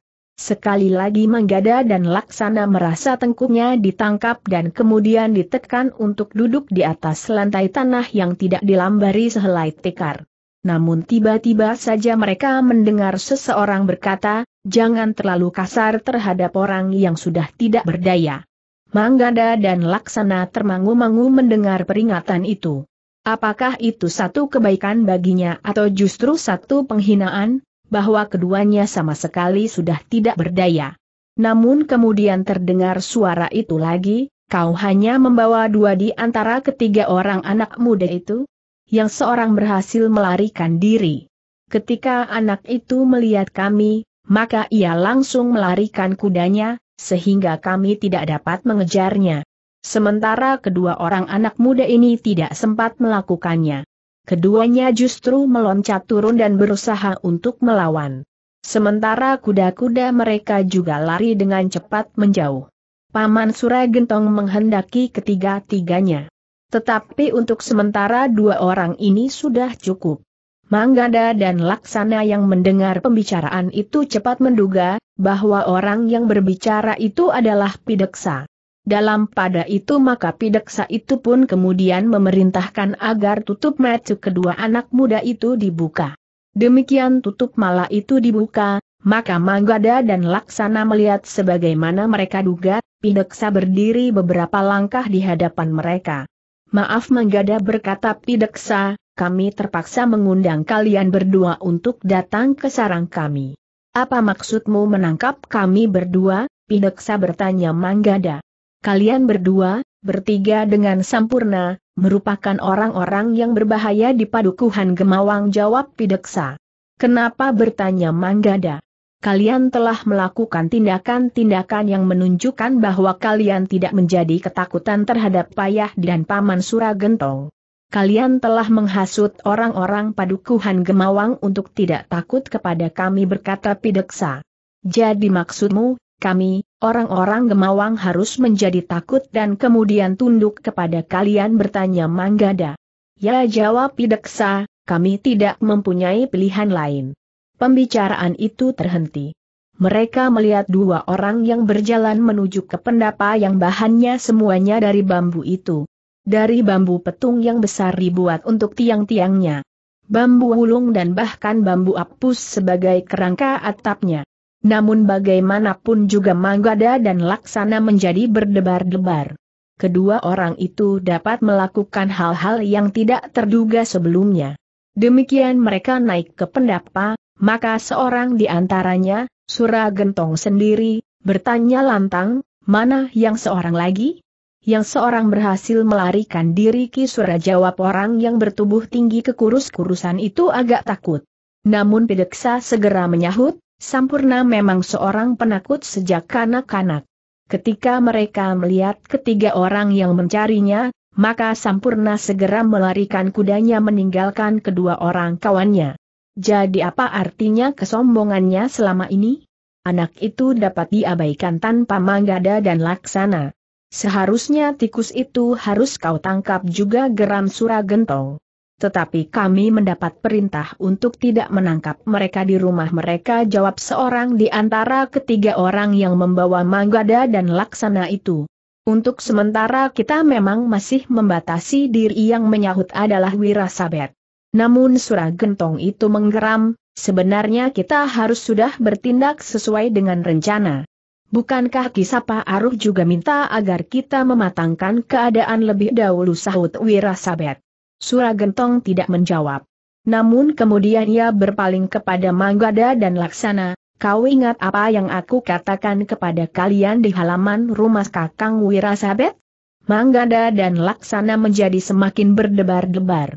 Namun kemudian Suragentong itu bertanya kepada ketiga orang yang membawa kedua orang anak muda itu, Hi, tidak kau tutup matanya ketika mereka kau bawa kemari? Yang menjawab adalah Pideksa, akulah yang membukanya. Baru saja. Suragentong itu mengerutkan dahinya. Namun kemudian ia pun berkata kepada Manggada dan Laksana, ada dua pilihan bagi kalian. Kalian tetap berada di sini, atau kalian ingin pulang tetapi dengan metu yang buta. Manggada dan Laksana tidak segera menjawab, sehingga Suragentong membentaknya keras-keras jawab. Manggada dan Laksana terkejut. Tetapi keduanya masih tetap berdiam diri. Ternyata Suragentong memang seorang yang sangat kasar. Tiba-tiba kakinya melayang menghantam lengan Manggada. Manggada terpelanting. Ia bukan saja jatuh terlentang. Tetapi Manggada berguling di lantai yang tidak beralas itu. Bahkan kemudian ia nampak menjadi sangat kesakitan. Mulutnya menyeringai sementara ia menggeliat sambil memegangi lengannya dengan tangannya yang lain. Anak iblis geram Suragentong. Sementara Laksana menjadi sangat tegang. Tetapi Laksana masih dapat mengekang dirinya, sehingga ia tidak berbuat sesuatu. Suragentong ternyata masih saja berteriak, jawab kau belum menjawab. Kami tidak ingin menjadi buta paman jawab Manggada sambil menyeringai kesakitan. Tetapi Suragentong menjadi semakin marah. Bahkan ia berteriak, dengar pertanyaanku. Apakah kau memilih tinggal di sini atau memilih kami lemparkan kembali ke padukuhanmu tetapi dengan metu yang buta? Manggada terpaksa menjawab, aku memilih tinggal di sini, paman. Duduk perintah Suragentong lantang. Sementara itu, ia pun berpaling kepada Laksana, bagaimana dengan kau? Aku juga memilih tinggal di sini jawab Laksana. Ternyata kesombongan kalian sama sekali tidak berarti apa-apa kau kelilingi padukuhan Gemawang dengan naik kuda, berderap seperti seorang senapati perang. Kau hasut orang-orang Gemawang untuk tidak takut menghadapi kami. Kau kira kami dapat membiarkan orang-orang yang menentang kami. Laksana menundukkan wajahnya. Sementara Manggada telah duduk lagi di sebelahnya. Tetapi dengan kasar Suragentong melemparkan ikat kepala dan menarik rambut Laksana sambil berkata, apakah kau masih akan menghasut orang-orang Gemawang menentang kami? Tidak jawab Laksana cepat-cepat. Suragentong mengguncang kepala Laksana keras-keras sambil berkata, seharusnya kau tengadahkan wajahmu sebagaimana saat kau berada di punggung kuda berlari-lari mengelilingi padukuhan Gemawang.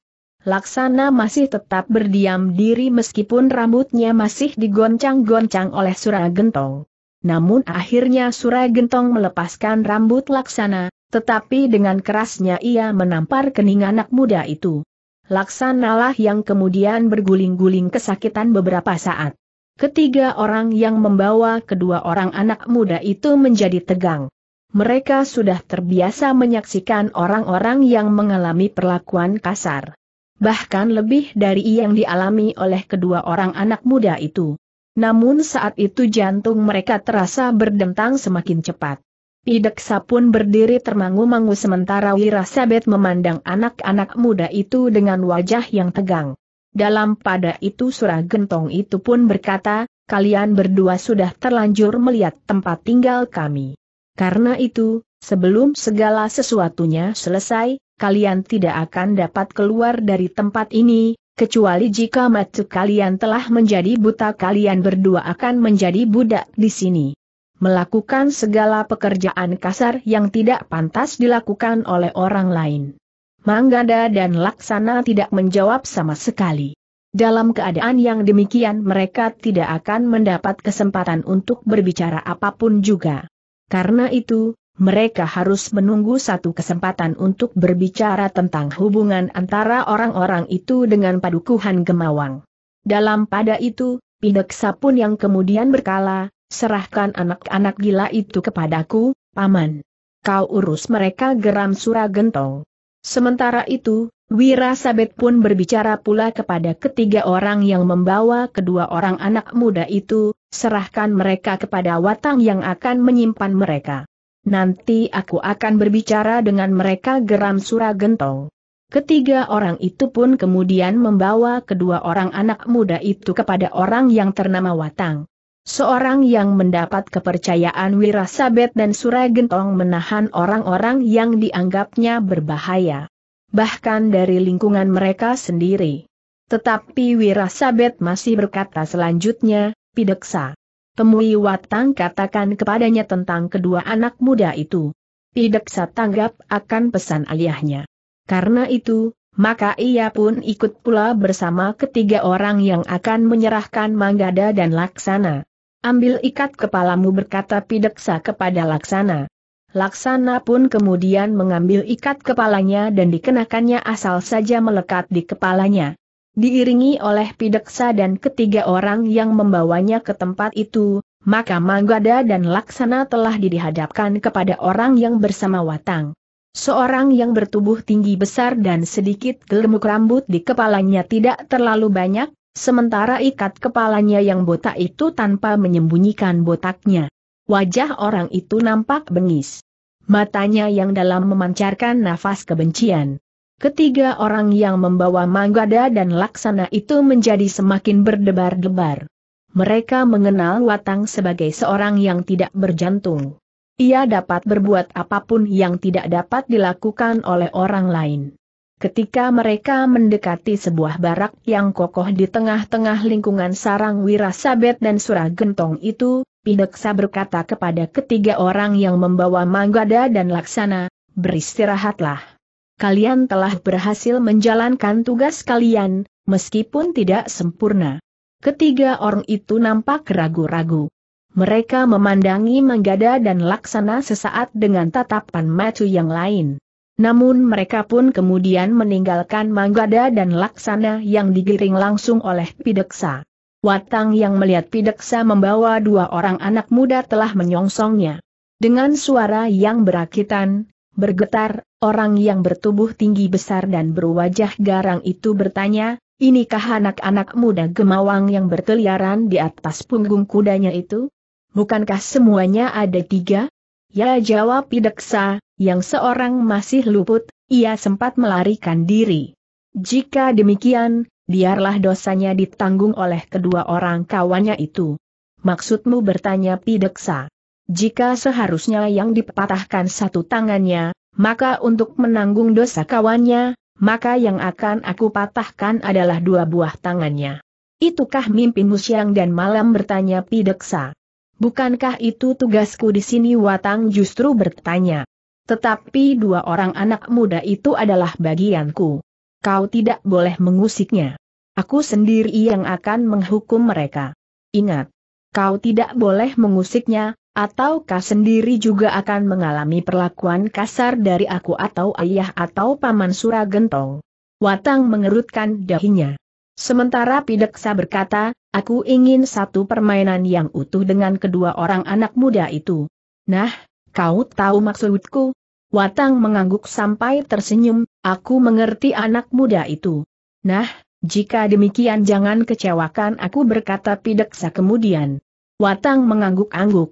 Sementara itu Pideksa berkata simpan anak itu baik-baik. Baik, anak muda jawab Watang kemudian. Tiba-tiba saja kedua tangan Watang itu menyambar baju Manggada dan Laksana di arah tengkuknya. Didorongnya kedua anak muda itu ke pintu sebuah bilik tahanan yang kuat. Kemudian dengan kakinya, Watang mendorong Manggada dan kemudian Laksana masuk ke dalam bilik itu. Dorongan yang kemudian membuat kedua orang anak muda itu terhuyung-huyung. Namun Manggada kemudian telah jatuh tertelungkup di dalam biliknya. Sementara itu Pideksa berkata, jangan kurangi aku, mengerti. Aku tidak mau kecewa. Watang tidak menjawab. Tetapi ia pun kemudian menutup pintu dari luar dan kemudian menyelaraknya. Sejenak kemudian Pideksa pun lelah meninggalkan bilik tahanan itu dan melangkah kenip di kependapa. Adalah di luar kesadaran mereka, bahwa dari sebatang pohon yang tinggi, di dalam hutan yang terletak di sebelah lingkungan tempat tinggal Wirasabet dan Suragentong itu, Ki Pandi sempat melihat ke mana Manggada dan Laksana itu digiring dan disimpan. Meskipun Ki Pandi tidak tahu apa yang terjadi seluruhnya, namun setidak-tidaknya ia sudah mengetahui satu di antara bangunan yang ada di lingkungan dinding bambu yang terhitung tinggi itu, sebagai tempat untuk menahan Manggada dan Laksana. Tetapi Ki Pandi tidak dapat berbuat apa-apa, ia tahu bahwa di tempat itu banyak terdapat para pengikut. Wira Sabet dan Suragentong dengan beberapa orang saudara seperguruannya. Bahkan mungkin orang yang bernama Kisapa Aruh itu juga tinggal di tempat itu pula. Sementara itu, Manggada dan Laksana yang berada di dalam bilik yang tertutup rapat itu, duduk sambil mengusap pakaiannya yang kotor. Dengan nada dalam mengganda berkata, aku harus mengotori pakaianku dengan beberapa kali berguling-guling di lantai dan bahkan di tanah.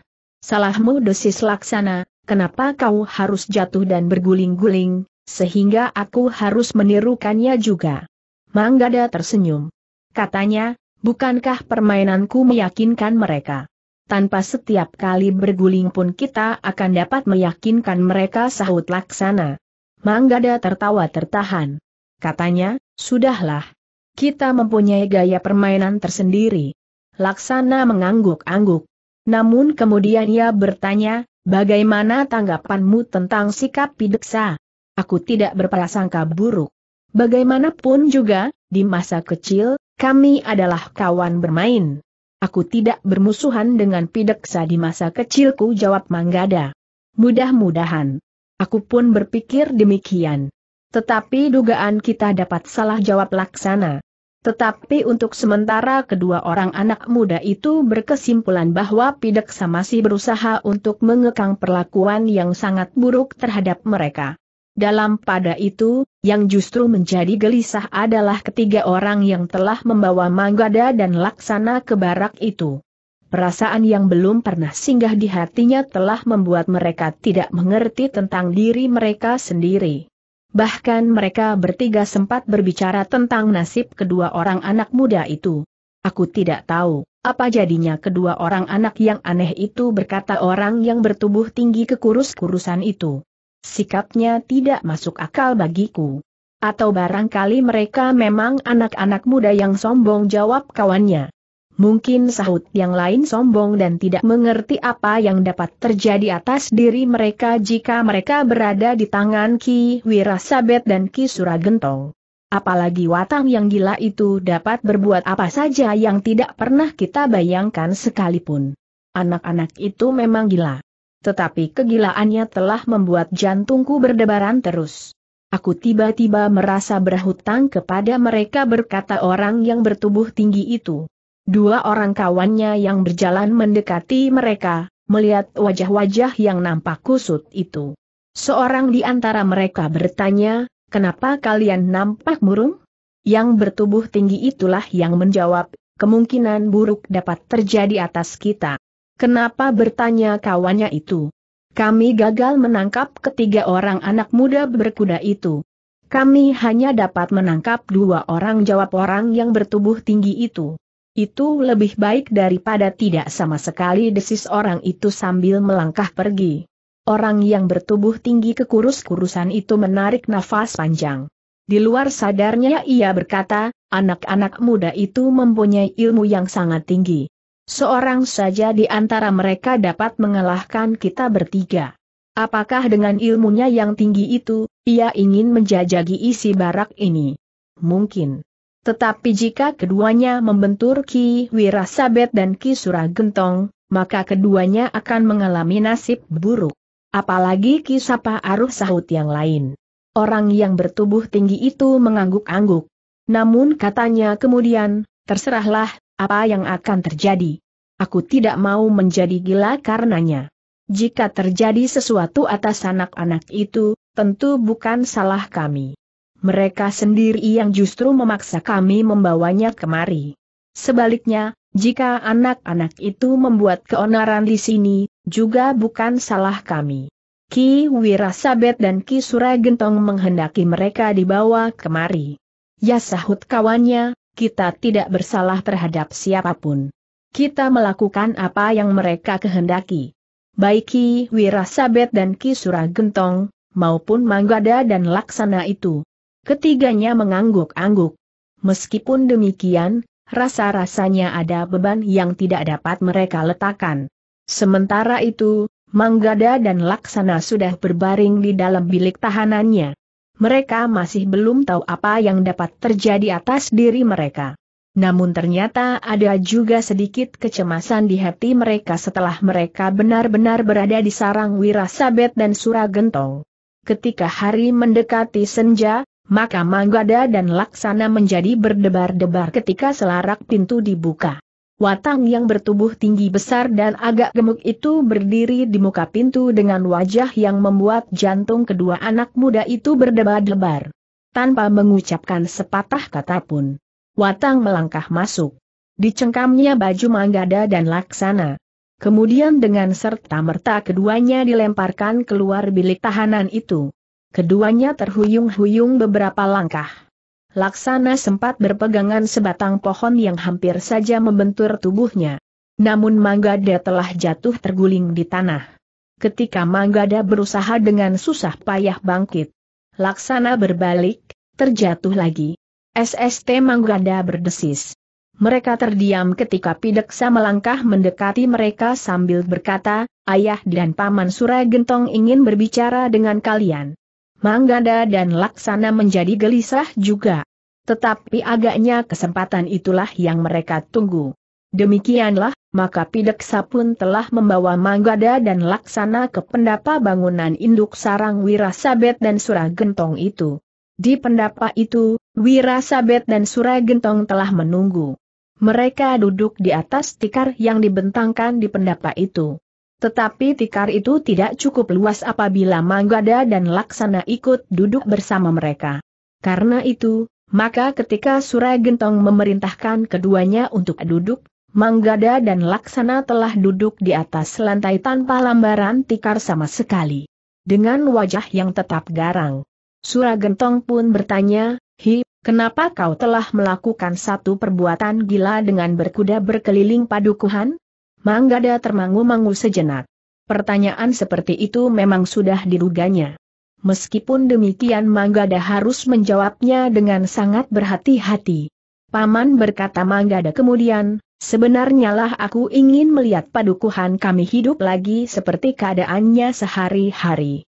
Dalam keadaan yang tidak sewajarnya itu, maka orang-orang padukuhan tidak dapat melakukan pekerjaan mereka dengan baik. Sawah tidak terpelihara sebagaimana seharusnya, parit-parit yang kering tidak sempat diairi karena bendungan yang pecah. Jalan-jalan yang rusak dan bahkan perempuan-perempuan tidak sempat pergi ke pasar. Jadi kau ingin menjadi pahlawan, ya? Kau ingin menentang kami di sini? Sama sekali tidak. Yang kami lakukan sebenarnya tidak ada hubungannya sama sekali dengan Paman Wirasabet dan Paman Suragentong. Kami hanya ingin orang-orang Gemawang bekerja seperti biasa. Tanpa rasa takut, karena persoalan antara para bebahu Gemawang dengan Paman Wirasabet dan Paman Suragentong akan diselesaikan oleh mereka, sehingga orang-orang Gemawang tidak usah turut campur. Tidak jawab surah gentong, kami memang menginginkan mereka menjadi ketakutan. Kami menginginkan agar mereka mendapat kesan, bahwa bebahu yang sekarang memegang pimpinan di padukuhan itu tidak mampu melindungi mereka. Kami tidak mengetahuinya, Paman. Bohong kau kira kau dapat membohongi kami? Kau ingat apa yang kau katakan di halaman rumah Kakang Wirasabet? Kau ingat bagaimana kau mencobai untuk membujuk kami agar kami bersedia berbicara dengan Ki Jagabaya. Kata-katamu sudah saling bertentangan. Karena itu aku dapat mengambil kesimpulan bahwa kau memang bermaksud buruk dengan kelakuanmu bertiga itu. Sebenarnya keinginan itu masih tetap ada di kepalaku, Paman. Kami tentu akan merasa berbahagia jika Paman Wirasabet dan Paman Suragentong bersedia untuk terbicara. Tiba-tiba saja Suragentong itu bangkit dan melangkah mendekati Manggada. Bukankah aku sudah memberikan syarat untuk membuka pembicaraan? Apakah Ki Jagabaya menyetujui syarat itu? Paman berkata Manggada, bagaimana jika syarat itu Paman katakan langsung kepada Ki Jagabaya dalam sebuah perundingan? Sebenarnya yang terpenting orang-orang padukuhan adalah satu penyelesaian yang tuntas, itu saja. Tiba-tiba saja Manggada terkejut. Kaki Suragentong itu telah berada di atas pundaknya. Katanya, kau tidak berhak mengatakan sepatah kata pun tentang usaha penyelesaian dalam persoalan Gemawang. Aku sudah mempunyai rencana yang lengkap. Rencana itu akan aku sampaikan kepada Ki Bekel dan para bebahu. Tidak ada perundingan. Persoalan akhir adalah, mereka menerima atau tidak. Jika mereka menerima, maka Gemawang akan segera pulih kembali. Jika tidak, maka terpaksa akan terjadi kekerasan. Manggada menunduk. Pundaknya mulai terasa sakit.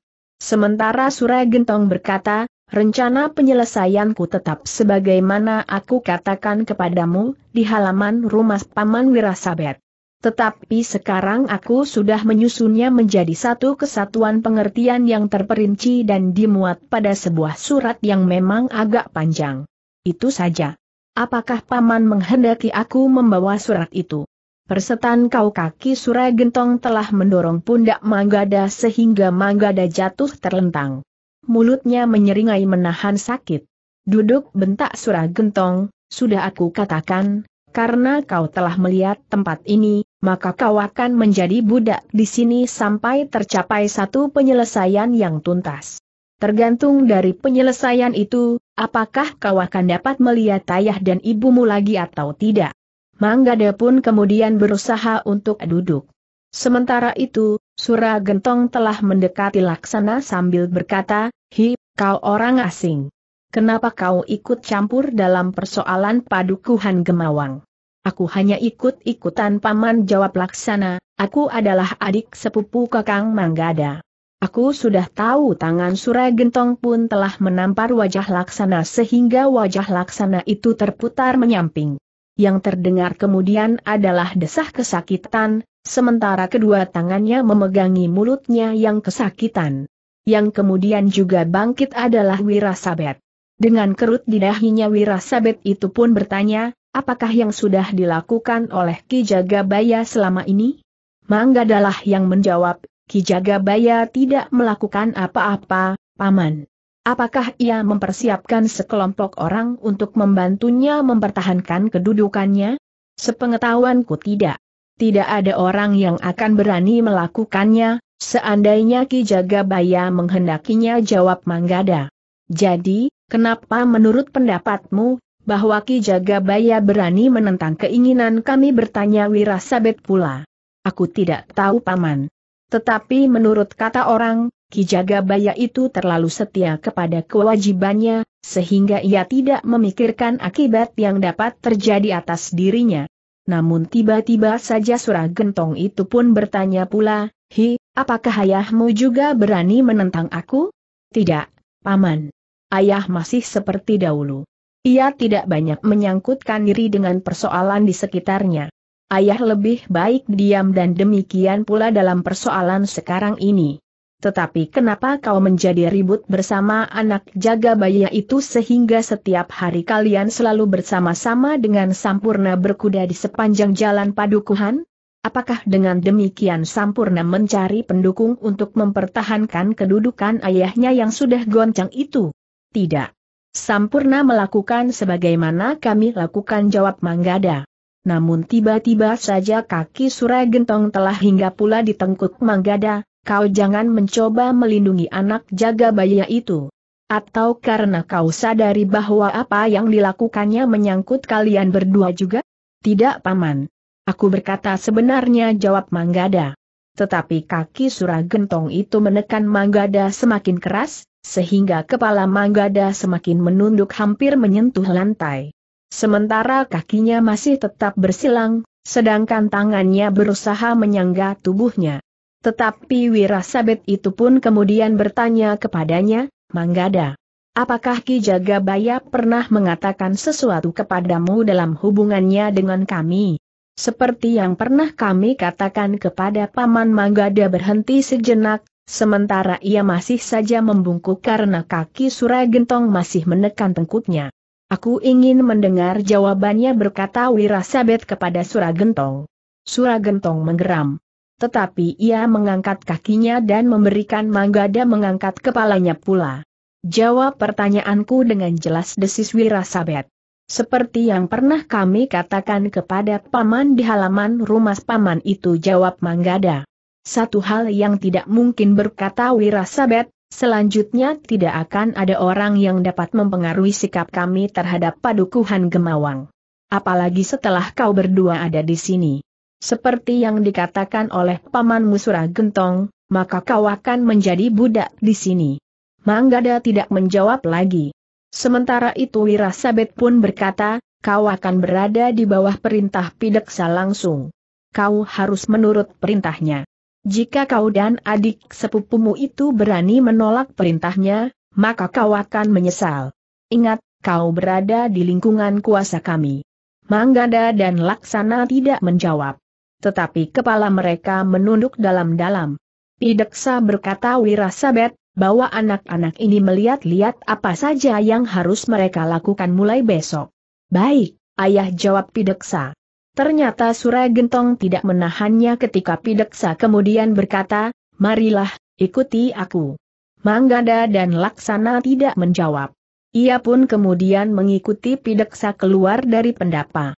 dua orang pengawal yang mendapat tugas untuk mengikuti pideksa yang membawa kedua orang tawanan melangkah di belakang mereka dengan tombak pendek di tangan. Manggada dan Laksana kemudian berjalan di belakang pideksa menuju ke bagian belakang barak itu. Barak yang dihuni oleh Wira Sabet dan Suragentong serta beberapa orang saudara seperguruannya. Meskipun secara khusus orang-orang yang disebut saudara seperguruan Wirasabet dan Suragentong itu tidak nampak menonjol di antara para pengikut yang ada di barak itu, namun Pideksa sempat berdesis kepada Manggada dan Laksana, ada empat orang saudara seperguruan ayah dan paman Suragentong di sini. Yang duduk di sudut barak yang terpisah itu adalah satu di antaranya. Manggada dan Laksana memandang orang itu dengan jantung yang berdebaran. Orang itu benar-benar nampak bengis sebagaimana orang yang bernama Watang. Meskipun tubuhnya tidak sebesar Watang tetapi nampak bahwa orang itu adalah orang yang berilmu. Bukan sekedar orang yang mengandalkan kekuatan tenaganya saja, atau barangkali sedikit kemampuan dasar olah kanuragan. Ketika di antara dua bangunan bambu mereka berpapasan dengan seorang yang bertubuh sedang dan bahkan berwajah tampan, maka Pideksa pun berkata, orang itu adalah salah satunya pula. Manggada dan Laksana mengangguk-angguk kecil. Ternyata wujud orang itu jauh berbeda dengan wujud orang yang duduk di sudut barak yang terpisah itu. Demikian orang itu berdiri beberapa langkah dari Pideksa, orang itu berhenti. Demikian pula Pideksa, sehingga Manggada, Laksana dan dua orang pengawal di belakang mereka pun berhenti. Ternyata orang yang berwajah tampan itu tersenyum. Dipandanginya Manggada dan Laksana dengan saksama. Kemudian orang itu pun berkata, inikah anak-anak yang diburu oleh ayahmu itu? Ya, paman jawab Pideksa. Apa sebenarnya kesalahan mereka bertanya orang berwajah tampan itu?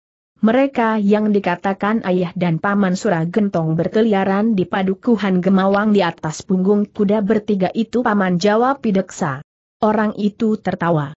Kepada Manggada dan Laksana ia bertanya, Hi, apa sebenarnya yang kau lakukan dengan berkuda berkeliling padukuhan itu?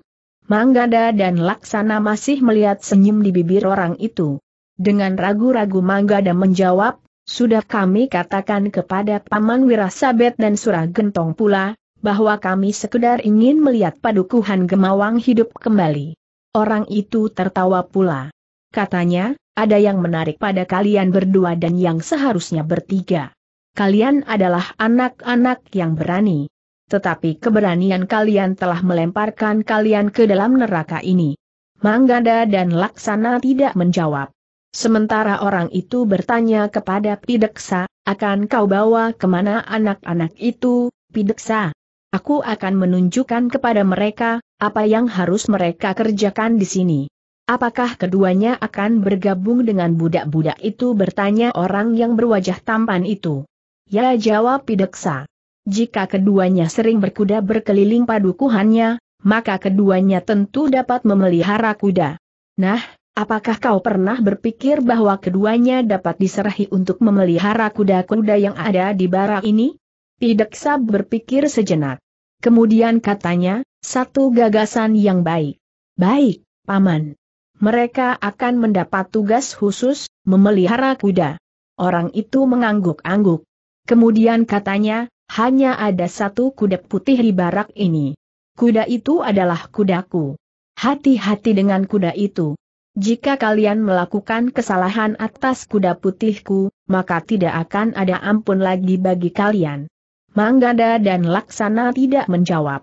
Sementara itu, orang itu meneruskan langkahnya sambil menepuk pundak Manggada, selamat bekerja anak-anak. Mudah-mudahan kalian kerasan tinggal di sini. Pideksa mengikuti langkah orang itu beberapa lama. Namun kemudian ia mengajak Manggada dan Laksana berjalan terus. Namun Pideksa itu sempat berdesis, hati-hati dengan orang itu. Kenapa bertanya Manggada di luar sadarnya, nampaknya ia orang baik. Ia adalah orang yang paling kejam di antara saudara seperguruan ayah. Mungkin pikiran dan perasaannya sejalan dengan Paman Suragentong. Tetapi menilik wujud dan sikapnya desis laksana. Pideksa tertawa pendek. katanya, itulah yang sering menyesatkan anggapan orang atasnya. Manggada dan Laksana menarik nafas dalam-dalam. Tetapi mereka tidak bertanya lagi. Sementara itu, senja sudah turun. Lampu-lampu minyak telah menyala di mana-mana. Pideksa telah mengajak Manggada dan Laksana ke kandang kuda yang terletak agak di bagian belakang barak itu. Laksana menjadi berdebar-debar. Ada beberapa ekor kuda yang ada di kandang itu. Jika berdua saja dengan Manggada mereka harus memelihara kuda itu, maka mereka benar-benar menjadi budak yang malang. Inilah kuda-kuda itu berkata Pideksa, kalian harus memelihara dengan baik. Ingat, kuda putih itu adalah kuda yang harus kalian perhatikan melampaui yang lain. Pemiliknya adalah seorang yang mempunyai perangai yang aneh.